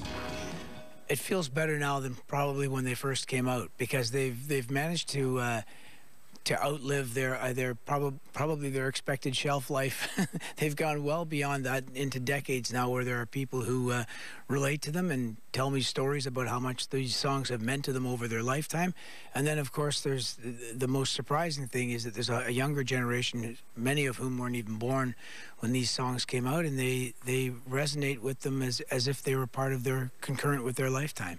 Going back to 1985, you had uh, released one solo album, Gowan. Didn't really hit the charts. Strange Animal came out. Were you surprised at its success? Oh, I, I would be kind of lying if I said I was surprised. I knew it would have some success, and my the reason for that confidence was because we recorded that album in Ringo's house, and he was there for the recording of the whole record, and I had Peter Gabriel's backup band or members from that band, and I knew the songs were strong. Producer really believed in it. Either somebody coming into the fire hall or contact with a family member. But the reality of the situation is it's, it's caused some issues internally to our operations. And I'd just like to make sure that council's aware of the fact that over the course of this last year, we've had uh, several sessions uh, to, to assist our personnel, myself included, with regards to post-traumatic stress. Uh, we've sent uh, representatives of the fire department, as well as our chaplain, as well as our occupation health and safety coordinator for the city, because you may or may not think, but this also affects other city employees in one fashion or another. So we're trying to extend it into the corporation as a whole. And over the course of uh, this past year, we've, we've moved in that direction. Uh, there's been some courses that have been, identif uh, been identified that uh, we're going to implement over the course of the next year that will mean that uh, all of our supervisors, when I say all fire services supervisors, all of the firefighters, and one of the, the missing links that has been kind of gone by the wayside, although not by myself so much, but there's a, a reluctance from emergency service personnel to want to get their families involved. Uh, we're going to push forward with a program that will allow us to get our families involved so they have an understanding of what uh, the emergency responders are bringing home with them and they can identify signs of uh, stress that they may be seeing unbeknownst to them as to why it's happening, this may be identifiable because of issues that we're trying to deal with.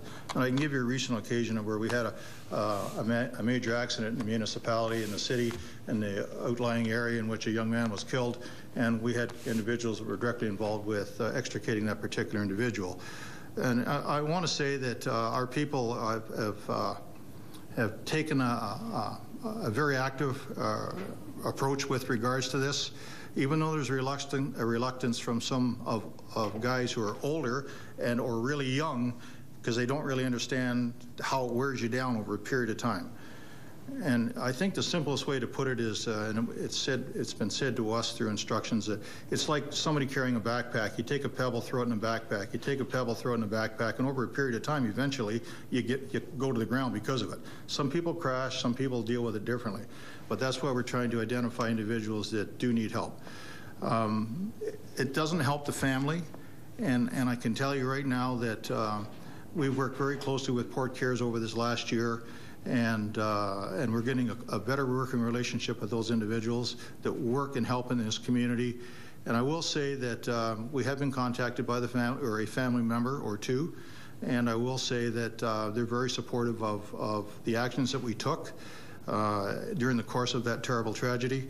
And I'd like to think that it's a lesson learned, and we're going to be better for it. And uh, I just want to say to everybody, thank you all for your support.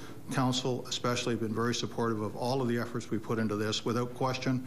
Even though I, I think there's probably some people that would like to question things, if you want to sit and talk about it, please don't be afraid to approach me about it. But um, I know Dan has something he wants to bring forward. It came in to him late today, so I'll turn it over to Dan if I could, Your Worship.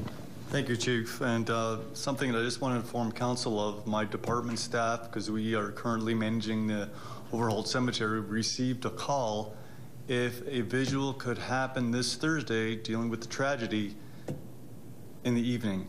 Now, our current cemetery's bylaw says that no vigils or anything in the cemetery can take place after six. So I just want to pass on to council that in the near future, I think our bylaw needs to be amended to allow certain visuals, given the fact of situations. So I just, I, I gave direction to the staff to tell the individual to say, go ahead and plan for this Thursday, that I was going to bring it forward to council's information tonight. What time on Thursday? approximately around 7 p.m., about 20 individuals. 20 individuals connected with family that uh, was lost a year ago. Correct.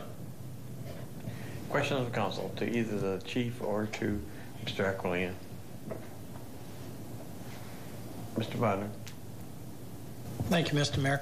Um, So do we need to back up Dan with this? If, if, if it's a kind of against the rules, do we need a, the okay from council to, you know, to just say, I, I'm fully supportive of it. I think it's a no-brainer, but, uh, you know, I think that uh, council should endorse it, let's say. And I'd be more than happy to bring that forward as, a, you know, a request to council to endorse it. Um, And unless someone else can convince me that it's not a good idea. Is there a Uh, seconder for that it- uh, should- recommendation? Can Counselor I- Butters, I mean, I just wonder Can I whether ask- to have a seconder, Council Desmarais, but uh, it's her ward. Can I ask a a question of the CAO? Um, Are we on the right track with this as far as bringing this forward this way, or is there? Yeah, sure. Through your worship to uh, Councilor Bodner, that's exactly right. I understand from Dan saying it was a bylaw, so council can provide relief from a bylaw at any, time by passing a resolution. So I think a motion is a resolution that will backstop the director's decision. Do we want a resolution authorizing the director not to enforce the bylaw, or how do you want to word that? uh, Well, I think To allow it? Ashley has something. Ashley? Thank you, Mr. Mayor. Um, I've recorded that um, essentially it's council waiving the rules respecting vigils in Overholt Cemetery in order to allow uh, the vigils to take place. Okay, the motion, motion is moved by Counselor Bodner, seconded by Counselor Butters, uh, but uh, Counselor, Just some quick discussion. Is it necessary to have the cemetery attendant there? Because it is after hours. Uh, I don't know how that would work. It- Is is that part of the protocol? Mr. Aquilina, with the the city supervision out there? To you, Mr. Mayor, to answer Councilor Doucet, sorry, Councilor Mayne's question, they do not require any supervision. There's no lock on the, to get into the Overholt cemetery. They don't request or require anything from municipal staff. So I don't think there's any responsibility that the city needs to have insurance that there's going to be potential damage. I, I, I see no issue. Counselor Mayne? Anything further? Are you ready for the question? All those in favor? Opposed, if any? Matters carried. Okay. There being no further, or any notices of motion. There being none, there no further business to take care of, I'd uh, call for a motion to adjourn. Councilor Danch, seconded by Councilor Elliott. All in favor? Carried. Meeting's adjourned. We'd like to move on next to the regular meeting of council 37-17. uh, Today, Monday, December 11th, following the committee of the whole meeting. Are there any addendum items, Madam Clerk? Thank you, Mr. Mayor. Yes, there is one addendum item, uh, that being the addition of item 20, uh, correspondence from the Niagara region concerning increasing the size of regional council. Thank you. The call for motion to confirm the agenda. Moved by Councilor Bodner, seconded by Councilor Mayne. All those in favor? Carried. Are there any disclosures of interest in the regular meeting? Councilor? Thank you very much, Mr. Mayor. Wasn't thinking of doing this, but number 19, committee items. Um, I have an indirect pecuniary interest. I'll give this. Thank you. Any other disclosure of business being done?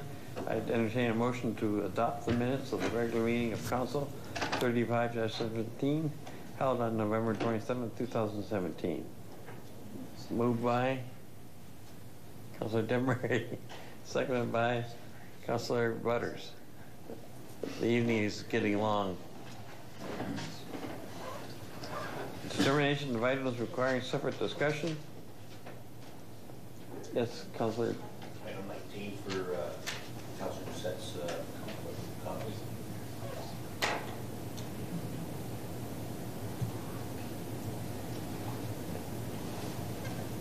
You want that one uh, pulled?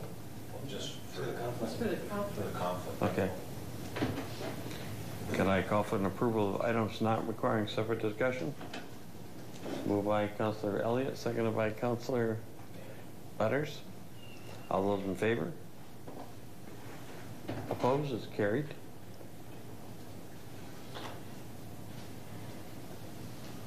Can we go for consideration of items requiring separate discussion?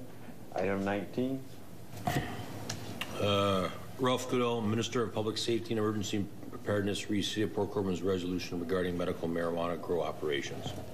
Seconder. Councilor Desmarais. All those in favor? Opposed? That is carried.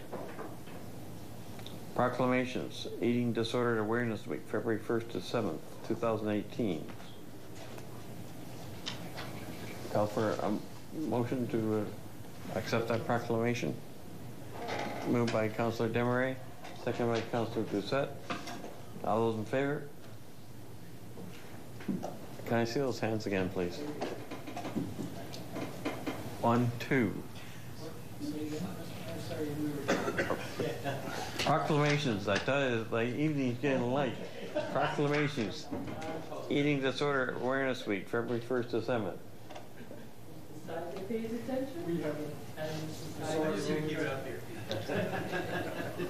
Um, I've got three over here and three over there. All those in favor is carried. There are, there are no minutes of board commissions and committees. Consideration of bylaws, Madam Clerk.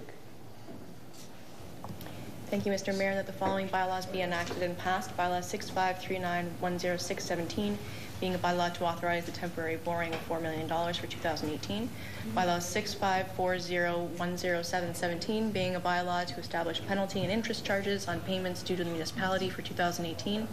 Bylaw 654110817, being a bylaw to provide for an interim tax levy for 2018. Bylaw 654210917, being a bylaw to adopt and maintain a policy concerning the procurement of, procurement of goods and services for the city of Port Colborne, and to repeal bylaw 4613144404. And finally, bylaw 654311017, being a bylaw to adopt, ratify, and confirm the proceedings of the Council of the Corporation of the City of Port Colborne at its special and regular meetings of December 11, 2017. Thank you. I call for a motion to approve those bylaws in bulk. Moved by Councilor Mayne, seconded by Councilor Butters. All those in favor? Hands up high, that's it. Those opposed? There be none. Passed. Yes, sir, it wouldn't matter. I would entertain a motion that we go into closed session. Madam Clerk? That council do now proceed into closed session in order to address the following matters. Minutes of the closed session portions of the following council meetings, June 12th, July 24th, August 28th, September 11th, September 25th, October 10th, October 23rd, October 27th, November 14th, and November 27th, 2017. Planning and Development Report 2017-189 regarding the potential sale of city-owned land pursuant to the Municipal Act 2001, subsection 2392C, proposed or pending acquisition of, or disposition of land by the municipality or local board. And C, Community and Corporate Services Clerks Division Report 2017-193, subject appointments to boards and committees pursuant to the Municipal Act 2001, subsection 2392B, personal matters about an identifiable individual, including municipal or local board employees. Could I have a mover of the motion? Moved by Councilor Desmarais, second by Councilor Danch. All those in favor? Carried. We move into closed session. I think this time this will be Ashley's last full committee meeting. And uh, I'd like to thank her for her advice to me to keep me on the, on the right trail and also the members of council.